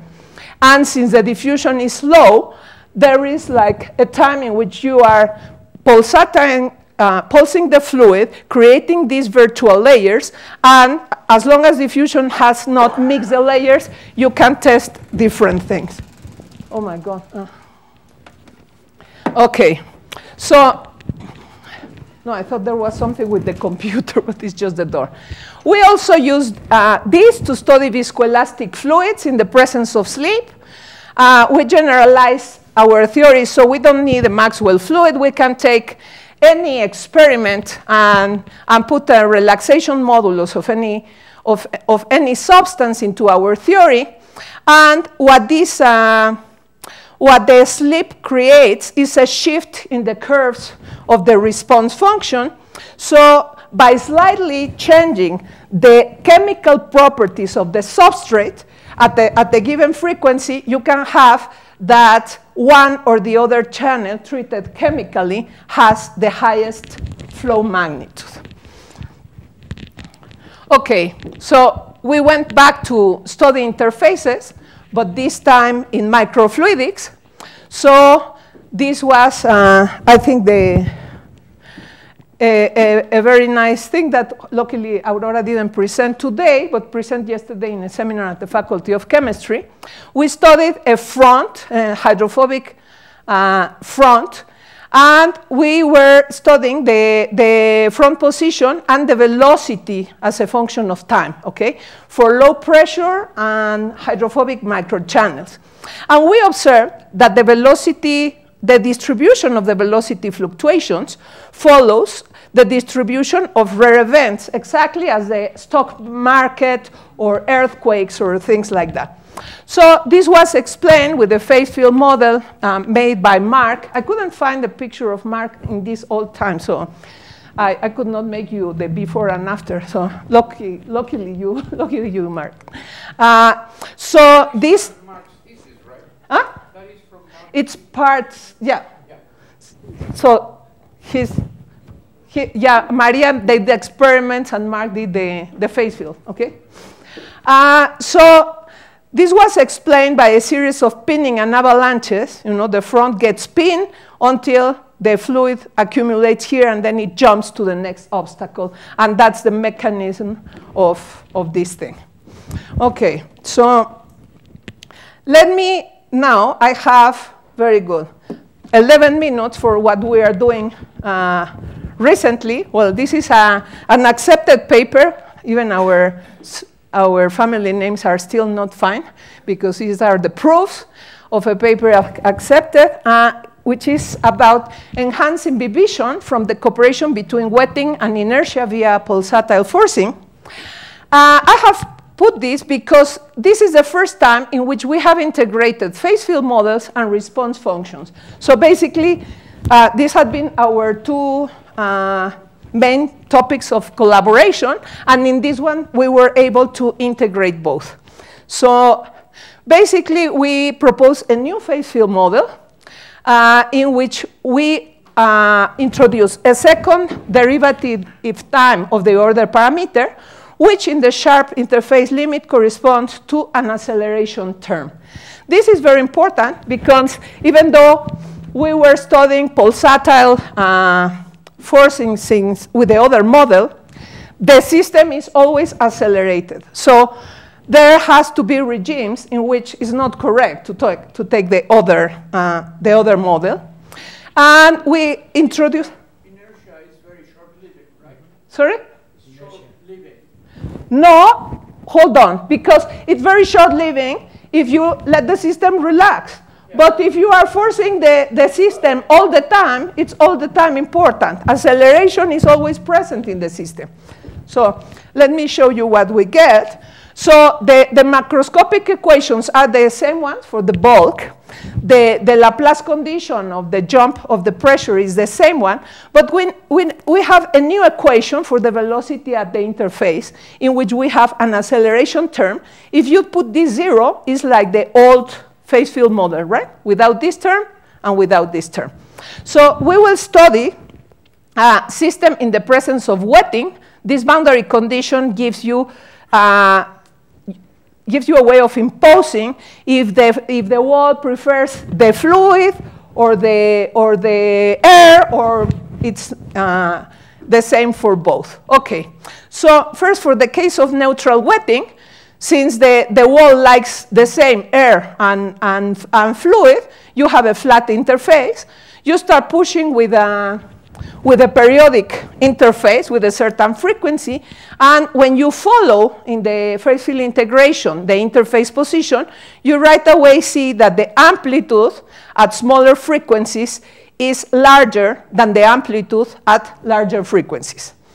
Okay, so this is the, the macroscopic equation that we got. If uh, we just uh, put it in, in one dimension, uh, pass it to the, to the frequency domain and take the magnitude, we have this response function between velocity and pressure gradient, right? So we plot two things here. One is this analytical term, which is the dotted line. And then we plot the results of the phase field integration in two cases at constant uh, inertia parameter and at constant frequency. So I'll go to that, uh, but we have comparison with everything. I'll, I'll, I'll go to real values, okay? Because this alpha, if I tell you 400 or 800 means nothing, right? But we'll relate that to, to density and, and real things. Okay, that, which is, I think, what I like about this paper. Uh, so now I want to, to compare with real fluids. So let me again remind you the Darcy's law that I presented you. I just put the response function, I pass it to the other side, okay? So this is the relation coming from Navier-Stokes, right? Integrated in the, in the channel uh, that relates pressure gradient and velocity in frequency domain. This is a complicated thing that would give me really, uh, in time domain, an integral equation between velocity and pressure gradient. But then we had the following idea. Why don't we, we, we want a differential equation similar to the one that we have in the phase field model. So we expand this to first order in, in omega. And of course, you remember that in frequency domain, a time derivative is related to minus i omega. So this will give me a first derivative in time. This will give me the constant term in velocity. And this will give me the term of the pressure gradient. So now I have from Navier-Stokes or Darcy's, uh, generalized Darcy's with inertia, this equation. And from the phase field model, we have this. So we can now identify alpha as this parameter, which is basically related to density, which it was expected, no? since it's an inertia parameter, and the mobility related to the system size and the system viscosity as in the old phase field. Okay, so we take this small approximation, take the, the parameters alpha and, and, and mobility, and put it in the exact expression for Newtonian fluids. Uh, no, I have still five minutes plus five talks. I put the chronometer. I put it in the exact expression for Newtonian fluids, and we get the, and we compare the phase field responses with the Navier-Stokes responses, and they are identical, okay? So for the first time, we can merge together the two fields in which we have been working, and we have conversion factors. For example, you can put, well, uh, uh, these, these are convection, conversion factors for water in a microchannel, but I'll come back to this because I want to talk in the last uh, three minutes about hydrophilic walls. If you put hydrophilic walls, this breaks the symmetry, of course, because the interface now, uh, uh, it's, uh, it has a curvature because the wall has a preference for the water and not for, for the air. And this breaks the symmetry between the two parts of the cycle. When you are pushing, the two, the two effects, dri driving and, and wetting, are cooperating, and on the other, and on the other half of the cycle, they are competing. Uh, anyway, since you have uh, these hydrophilic walls, the front advances, you can also see that the amplitude is larger for larger, uh, for smaller frequencies, as in the other case. And you can analyze dynamically this dynamic uh, you can analyze the behavior of this dynamic angle. For, the, for reference, here is like the static angle of water uh, in, in, in a substrate. Here we have the, the dynamic angle. This average uh, is, the, is the green line, which is the average of the blue curve, even if it doesn't look like. And the red line is the imbibition angle, the normal imbibition non-static angle. Okay, so according to this, the system will go uh, slower, okay, because you are doing this slightly less hydrophilic. But what we observe is that, in fact, the front, when we switch on the driving, it's like takes off and advances much faster than in the case of pure imbibition.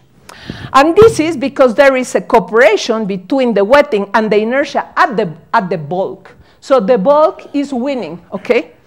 Thanks to our conversion factor, uh, this of course is not predicted by the, by the old phase field model in which inertia is not taken into account. So Rafael, you can see here that inertia is relevant as long as the front is feeling the pulsatile forcing.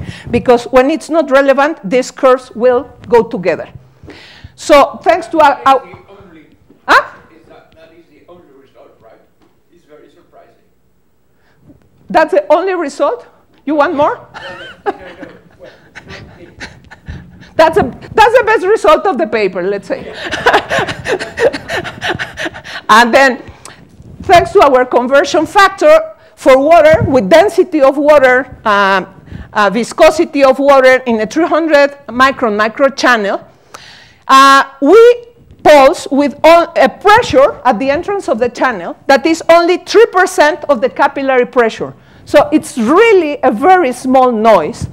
And we get that if you pulse, like let's say at, 300 at 35 hertz for seven seconds, the front advances 12% more uh, due to this forcing than if you don't have the forcing. It advances by 12%. Of course, we, will, we would like to have experiments of that, but that would be like in the future. So I have been studying aurora, you know, mood with all these years, and I think that there is a fluid-dependent Aurora's mood because you will agree with me. See? when you have water in Syria, because you are in a Muslim country and you cannot drink wine, then Aurora has this face. When Aurora is like in a decent place like Mexico and a nice restaurant where Rafael takes us to eat, then Aurora is happy. Okay, very good. Thank you very much, and I'm delighted to have you all here.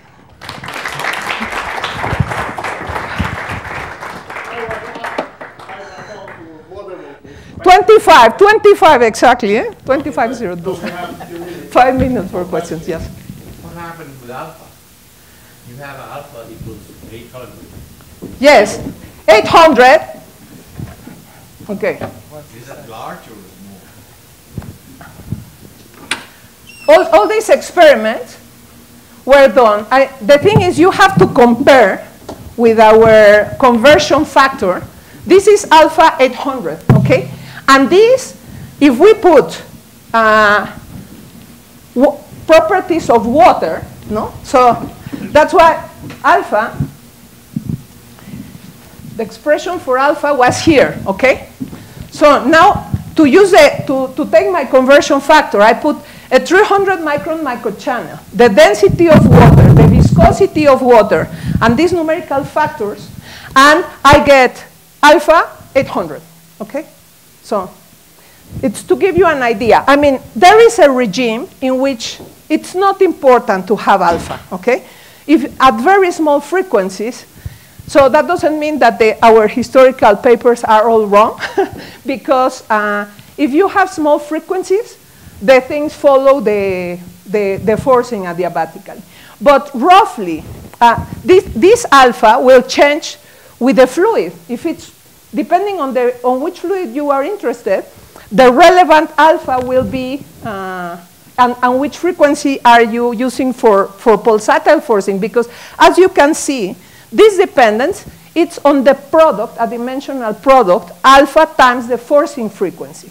So let's say, Jorge, if we pulse with, uh, with if we have alpha of 400, and we get a frequency of 0.0025, this corresponds to alpha 1, okay, to, to alpha omega 1, and that's basically the boundary between alpha being relevant and irrelevant, okay?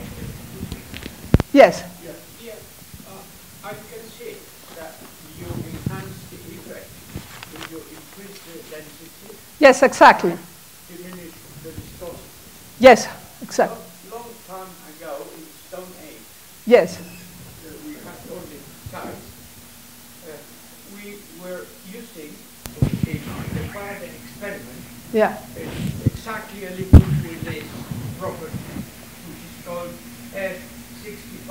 Uh-huh. uh, Made by 3M uh, factory. Yeah. And actually all these uh, uh, dynamics of behavior of fluid are enhanced. for a single fluid, you mean? Yes. Not for any interface. This is like the dynamics of the interface. But yeah, all of these But the on the of water. Yeah. And density of water. So Very good. Instead of using water, you use F65, Yeah. F65. Yeah. Yeah, It's available commercially. Then you could show a spectacular effects like this. Okay. Because the, your expansion allows you to use higher frequency. okay. uh, higher frequency. So we will use that in, in our experiment, Aurora. Let's keep it in mind. Instead of water. It's just that water is cheaper, but I, I think we Let's have see. another question from that part. Yeah. This, this liquid is used industrially in dielectric breakdown. okay. Thank you, Rafael. Yeah. He needs a microphone. I guess. Uh, Thank you. Uh, Pro- Professor, I was wondering about the part of stratification. I was thinking uh, in the origin, the primitive plants and animals, they don't have real vascular systems. I was wondering if this type of sta- stratification could be related somehow to the origin, to the formation of the first vascular systems. What do you think? I think I am in no position to say that because, you know, for that, I would need to consider an elastic. Uh, for example, this is a rigid cell, okay? I would need to, to consider an elastic membrane that is also able to be deformed and then to get destabilized. I think all these things can be studied. I mean, pattern formation can be studied with the same tools, but with these fluid phase field models, no. I, I was thinking about that because these fluids, what I have in my mind about it, is basically they are very concentrated fluids. I mean, uh, because they are like the plasma of systems. They are uh, they have a strong content of salt and sugar, and probably they have these viscoelastic properties. That's what I was thinking in this direction. Okay, Well, let, uh, let's, uh, let, let's keep this uh, at lunch. Um, I, I think time, we have to keep the time, so uh, let's uh, thank our speaker again. And our next speaker is Felix from uh, ICFO, Spain. He will tell us about uh, shapes in cells. Uh, Let's, Y esto, let's welcome. Y ahora el micrófono. toma.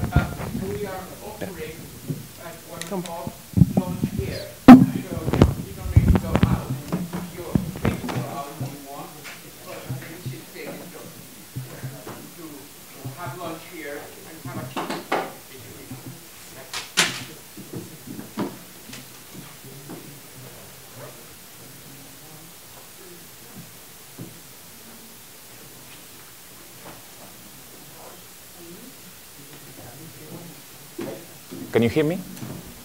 Yes? Good. Okay. Perdón.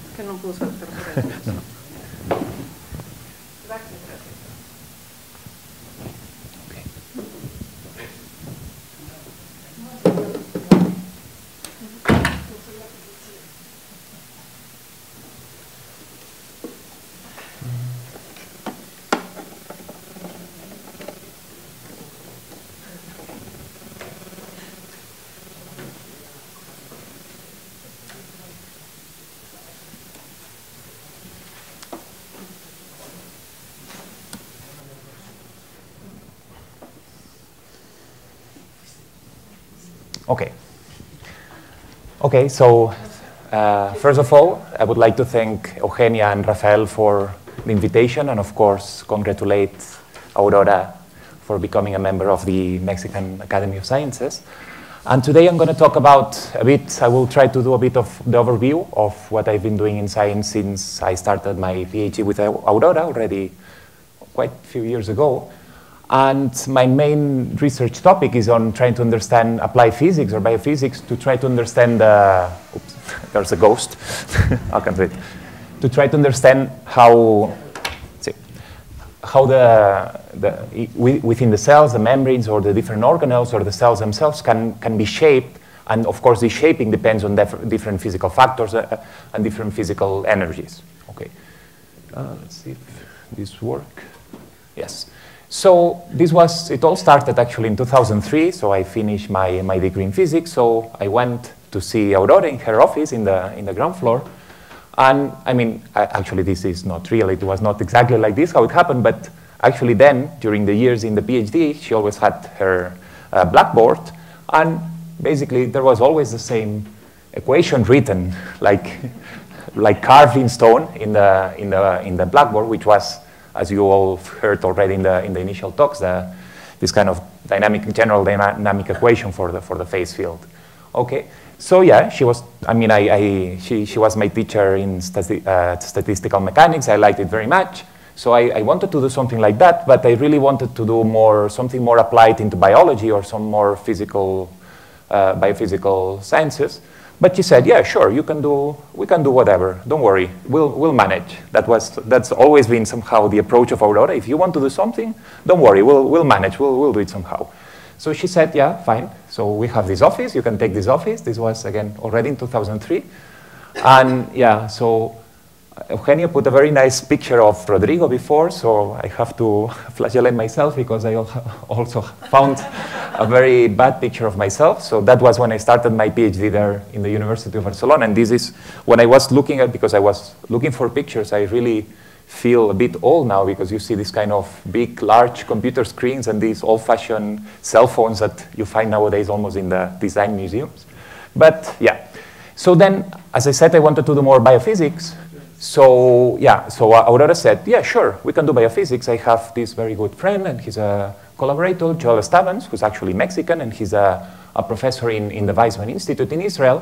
And he had very interesting results, quite recent results, where they were, as also Aurora mentioned before, they were studying uh, um, lipid vesicles or lipid membranes, okay, in vitro, in, in ex experimental system, and they were adding something that mimics somehow the effect of proteins anchoring into, the, into these membranes. Okay? And what they were doing is that they were studying this kind of dynamic instability. So you start started, for instance, with a tubular, as more a cylindrical tube, and then upon addition of this polymer, which was mim mimicking the proteins, they, they uh, observed this kind of pearling instability. Okay? So the shape of a cylindrical tube was changing into something like a set of spheres, which were still connected, by the way. Okay? So this was one of the experiments, so I found this really, really nice because I somehow always like this kind of trying to understand how things are shaped and what energies or what physical principles uh, lead to these uh, shape changes. And besides being something that I was really curious about, and we were curious about, it turns out that it's actually important for, for the biology because within the cells you find really many kinds of different shapes. And as, as you might know, in, in, the, in the cells, so the, the basic compartmentalization within the cells is made by membranes. Okay? The membranes separate, for instance, what's inside the nucleus from outside the nucleus, the, what's called the endoplasmic reticulum, the Golgi complex, endosomes, uh, even the plasma membrane. And these membranes have very, very curved uh, parts or parts with very peculiar shapes, for instance, like the Golgi complex, which is like a, a stack of, of pancakes. Okay? So again, all these shapes, understanding how, how the membranes are shaped is quite important not only from a more or less academic point of view, but also for a really fundamental biological point of view.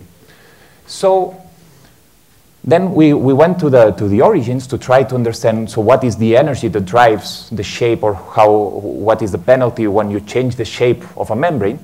And that was the, the, actually the, one of well, basically the initial paper from, from Canham in, in, the, in 1970, where back at the time people wondered what, why the shape of a red blood cell, this kind of discocyte shape of a red blood cell emerged from. Okay?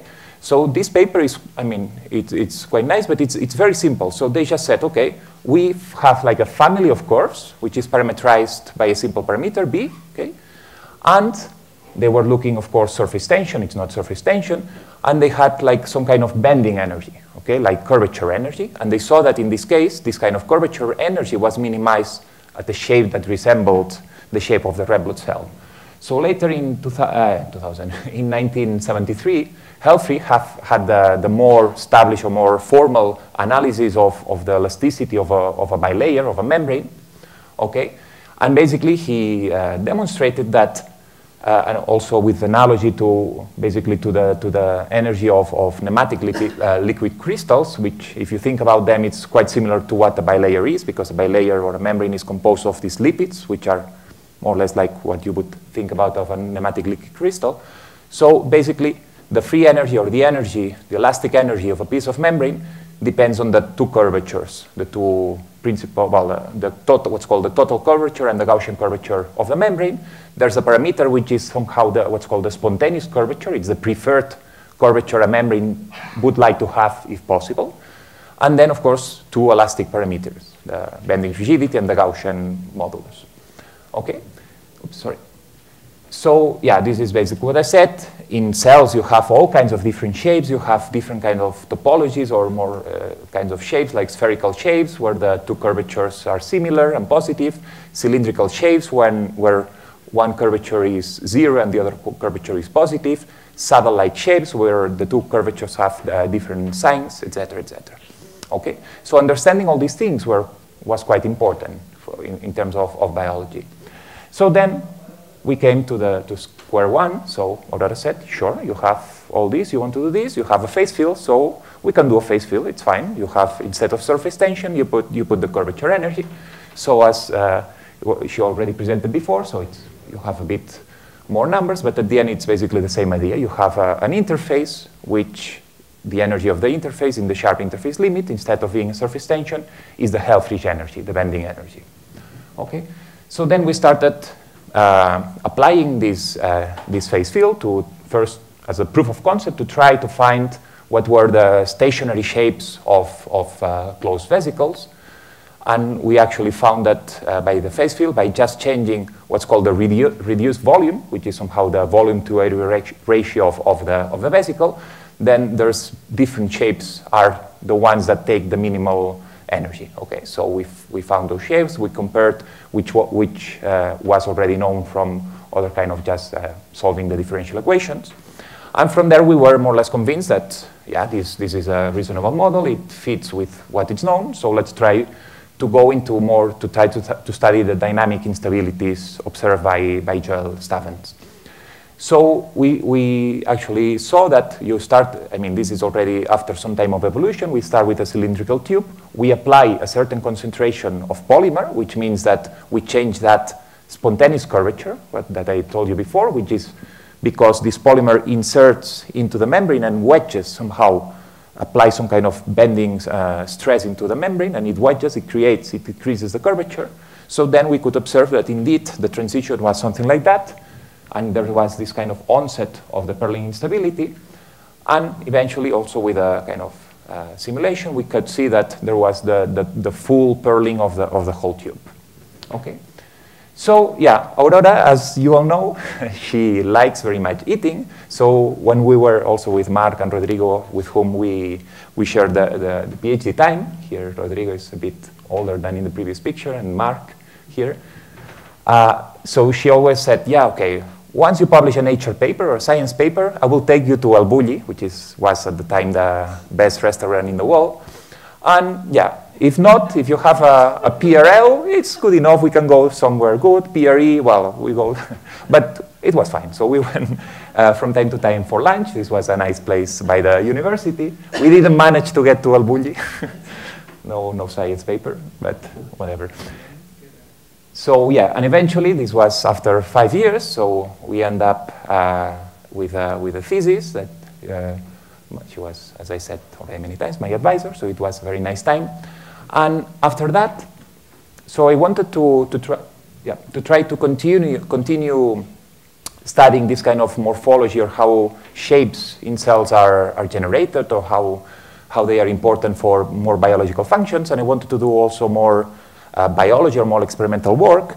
So for that, I, I, I joined a, a, lab in Barcelona of Vivek Malhotra, who's a cell biologist. And then the, the idea was, uh, yeah, the idea was to try to study how membrane shaping or membrane curvature generation is important for different biological processes, in particular for what's called uh, protein secretion or the secretory pathway.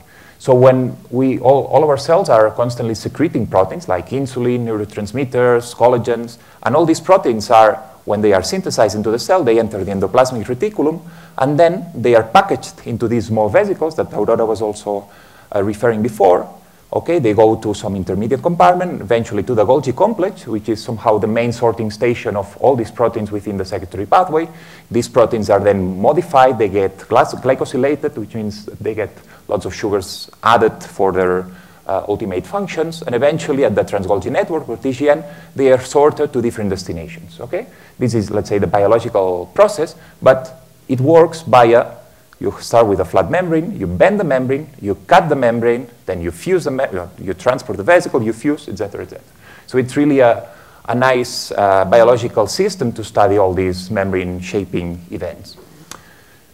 So, so yeah, that's the second part. So first it was more from soft matter to now to, to cell biology. So the first thing I wanted to, to understand is how or what is important for keeping the shape of the Golgi complex, which as you can see in these electron microscopy images, and here is some kind of color coded the different cisterna of the Golgi complex. So these membranes are more or less flat membranes, like what they call like a set of pancakes, okay? And they are polarized, so they have different biochemical identity along the, the different cisterna, okay? But they are very flat and they have a very large rim, which is really highly curved okay? Which is quite curious if you think from a physical point of view because you say, okay, you have a really large surface area of high curvature. So if you think about curvature energy, this, there must be something that either stabilizes or must keep the flat part or that stabilizes the, the edges of the cisterna. Otherwise, the shape would become something like a stomatocyte or something like a, a, a, a ball. Okay. So to cut the, the long story short, so we started let's see if this, yeah. We started doing some experiments, and the, the main goal was to try to understand how the, the basic functions of the Golgi complex, which are lipid uh, generating and keeping the homeostasis of different lipids, different lipid species, also in the formation of these vesicles, these transport carriers, and also in this glycosylation, what I said, that the proteins are matured, are modified along the Golgi complex, how these proteins were linked together, and if the morphology of the Golgi complex was somehow special or important for, for these proteins to be, uh, for these uh, processes or properties to be maintained. So I will not go into the details, but we found uh, uh a nice way to try to mess up with the lipid levels in the Golgi complex and specifically in the Golgi complex, okay? So what we did is we added some kind of short chain, uh, a very small lipid, what's called D-ceramide C6. It's not important this, for, for this talk, but what's important is that what it does is that it's converted into another lipid that we usually don't generate into the cells, okay? So now we are generating some kind of uh, short chain sphingomyelin, another lipid that we don't have, but we measure that once you have this treatment, the biophysical properties of the Golgi membranes are changed. So for instance, we don't have lipid rigid nanodomain, so the overall order of the Golgi membranes is affected. And we also saw some kind of more uh, phenotypical uh, effects, like for instance, transport or secretion was blocked. So when we mess up with these lipid uh, levels, then there was no proteins entered the endoplasmic reticulum, went to the Golgi, but they, they remained into the Golgi. They were not escaping from the Golgi. So there was a defect in the formation, in the curvature generation at the Golgi complex. And also there was, uh, the proteins went through the Golgi, but they were not correctly modified. They were not glycosylated. Okay? And what for me was the nicest part of it was that uh, when we had this treatment, these are two kind of control cells, so here, if you can see in these electron microscopy images, the Golgi complex is like what you're used to see in the, in the textbooks, this set of flat cisternae, okay, as here.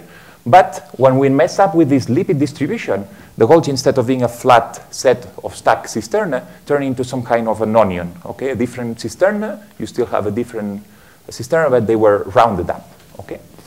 So of course, from my PhD, I said, yeah, this, there's room here for, for modeling or for, for equations, okay? So that was the question.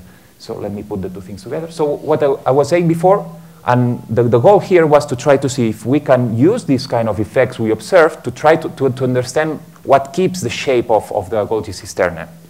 So uh, as I said before, if you think only about curvature generation or curvature energy, you have a flat cisterna like this, you have, let's say, this blue part, which is basically flat. It's fine, no energy there. But you have a lot of surface area, which is the rim of the cisterna, highly bent. So one possibility is that there are some proteins, okay, or some lipids, but most likely some proteins that are sitting there and they stabilize, they generate or stabilize this curvature of the rim. So let's say now you would remove these proteins, then the rim is unstable, and then you can think this more as a, as a line tension, okay? So then there would be some kind of curling into something like this, where you have a very small rim now. Of course, this rim still has a lot of energy, of bending energy there.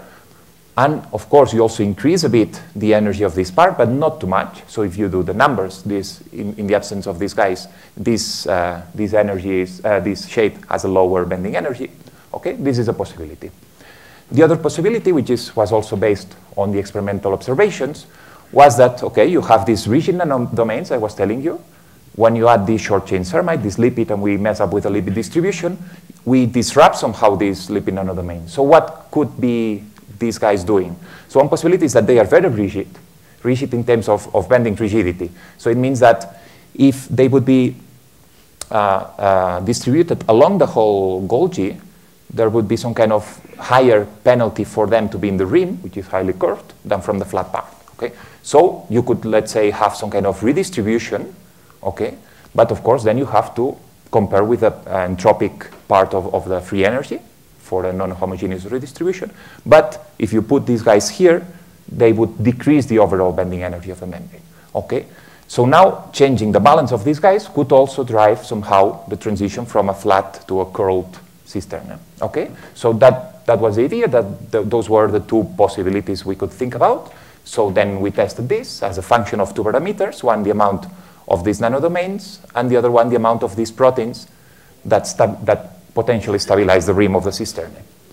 So oops, we did this, so we uh, wrote down the, the free the bending energy, the Helfrich energy with all the terms, with the free energy part for the entropy of, of the nanodomains dis- redistribution. And for instance, for some whatever parameters, a certain area fraction of nanodomains and a certain amount of these guys stabilizing the rims of the cisterna, you have a free energy profile, something like this. Okay? Meaning that in this case, the global minima, minimum of the free energy corresponds to a Kroll cistern, and you still have some kind of metastable state as the, as the flat cistern. Okay? So this is just for, for one, one, one set of parameters. So of course we did the, the, the analysis for a wide, uh, a broad range of parameters. And then we could build out some kind of shape diagram as a function of this parameter, which is the amount of stabilizers of the rims, and as a function of the amount of nanodomains. Okay? So as you can see, in orange uh, means that the, the stable shape is the curl cisterna, so this kind of onion-like shape. Here is the flat cisterna, and in between you have a region like, like the one I showed you before of potential bistability. Okay? So here, the first thing you, you can see is that if you have, so what we observed experimentally was a transition from a flat cistern, from blue, to a curl cistern, to orange. So to have such a transition, you, according to this model, of course, this is a model, but you must decrease the amount of these guys. You cannot have a transition from blue to orange just by decreasing the number, the amount of nanodomains, okay? Five meters, perfect. So that was, let's say, the, the main or the first prediction of the model, so that you, you should have some proteins that are stabilizing the rims that when you mess up with a lipid distribution, they should be released from the Golgi. So we tried, we tried different of them, and, oops, sorry. So we found that, for instance, this one, which is it's, uh, some part of clathrin, which is one of these proteins involved in the formation of these vesicles. So clathrin in control cells is here at the, at this is a Golgi marker, so it's at the Golgi, at the trans-Golgi network, as you can see in these electro, uh, uh, fluorescence microscopy images, okay, colocalizes here. But when we mess up the lipid uh, homeostasis, uh, this clathrin was more delocalized. It was, it was not staying at the Golgi. So what, that was a nice somehow validation, experimental validation of, of, the, of the model. So the main idea was to say, okay, so we have um, the cisterna, and the cisterna is stabilized because you have these proteins that are sitting there, and it's proteins like clathrin that they sit there not only to stabilize the shape of the cisterna, but also to bend, to create these vesicles, these transport carriers.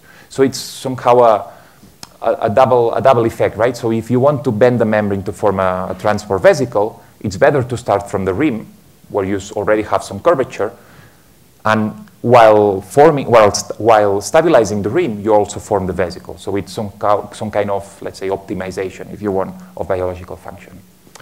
So yeah, eventually, so we uh, managed to show that Golgi morphology is important not only as a curiosity, but it's also important to keep the, the different functions of the Golgi. And we also think it's important, I didn't talk about this, but we also think it's important for protein maturation. And the, in this case, it's the lipid nanodomains, which we believe they are important to bring the proteins together. So I was very optimistic, so I had a lot more slides that I will, another part that I will really cut. Don't worry about this. I, ha I, I had something on wetting, which was quite cool. But let me just go to the very end. So this was another, another important, uh, important problem in biology, in biology, which is how collagens, which are really bulky and, and rigid proteins, how collagens leave, ex are exported from the endoplasmic reticulum. Collagens, as far as we know, they can be up to 400 nanometer in, in, in length, and they are quite rigid. But the vesicles, these vesicles that go, that shuttle proteins from the ER to the Golgi, have a size of about 60 to 90 nanometer. Nobody saw anything larger than that. So the question is, how do these collagens go from the ER to the Golgi? So to cut the long story short, so we have an idea which is based on, on a protein called Tango1, okay? And what we think that Tango1 is doing is that it's somehow wetting the proteins or binding to the periphery of the proteins that are responsible to curve these membranes to form a transport carrier. And what they do is they act, they reduce the line tension. They act, as we say, as a linactant in analogy to surfactants. Okay? So in the absence of these tango proteins, this guy will close and will close, close prematurely and would not be able to package these long collagens. But what Tango 1 does, sits here into some kind of rings that we also observe experimentally, and basically they keep, they stabilize this neck, and this allows with other physical processes, like for instance, control of uh, surface tension or maybe force generation, allows for the growth of, of this guy into something longer, a tube, which I would like, I don't know, this is a, let's say a, a hunch, but I think it should be, based on, on the energies, it should be something like a pearled tube. But that's what we are trying to find out experimentally. So yeah, this I will skip. This is the shape. We have some, some stuff. Yeah, that's what's the analogy.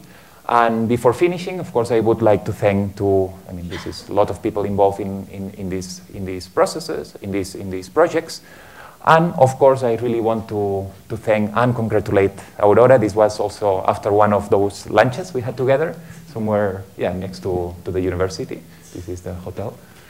And thank you, congratulations, and thank you all for your attention.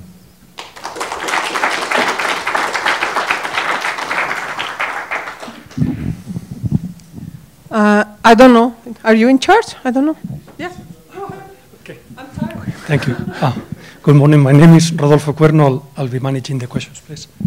Uh, is it known if the is it known uh, if the natural function of the Golgi structure changes or it's uh, reduced or actually killed if the shape changes? If the shape? If the shape yeah. changes. So there's, that's a good point. There's different things. So let me show you this,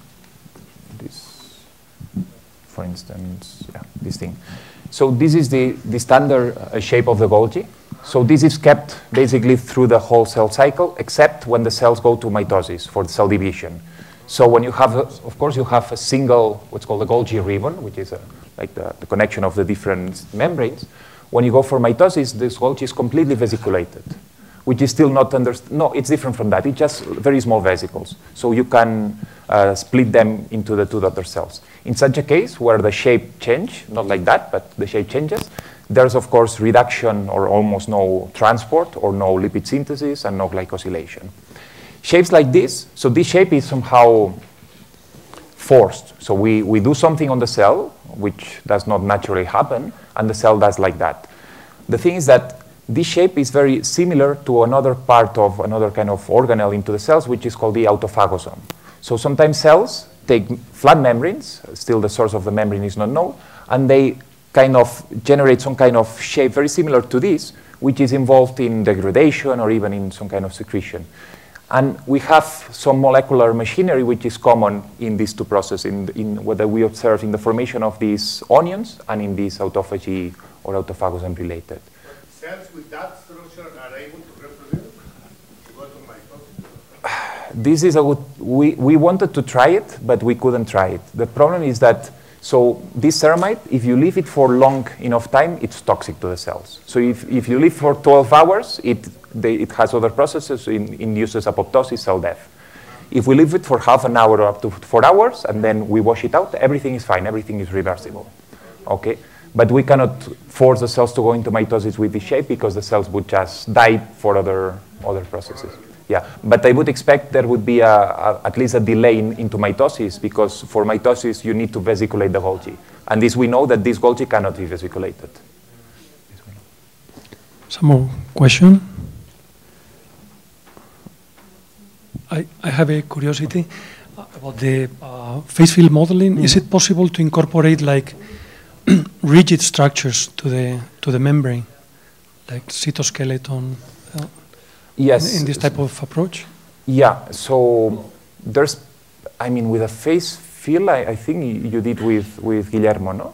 So you you can couple the, so you have the, the phase field energy of bending the membrane, mm -hmm. and you can couple with the elasticity of a cytoskeleton below. So with this you can also, because for instance for the shape of the red blood cell is also quite important, the, the cytoskeleton. Hmm. Yeah. Mm -hmm. yeah.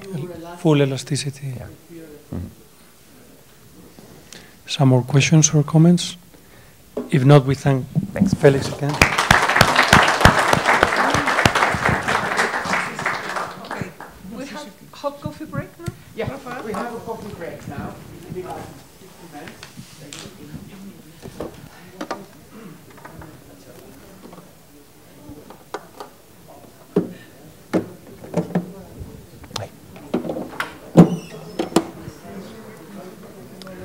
Es el coffee break. Ahora hay el, el, el café.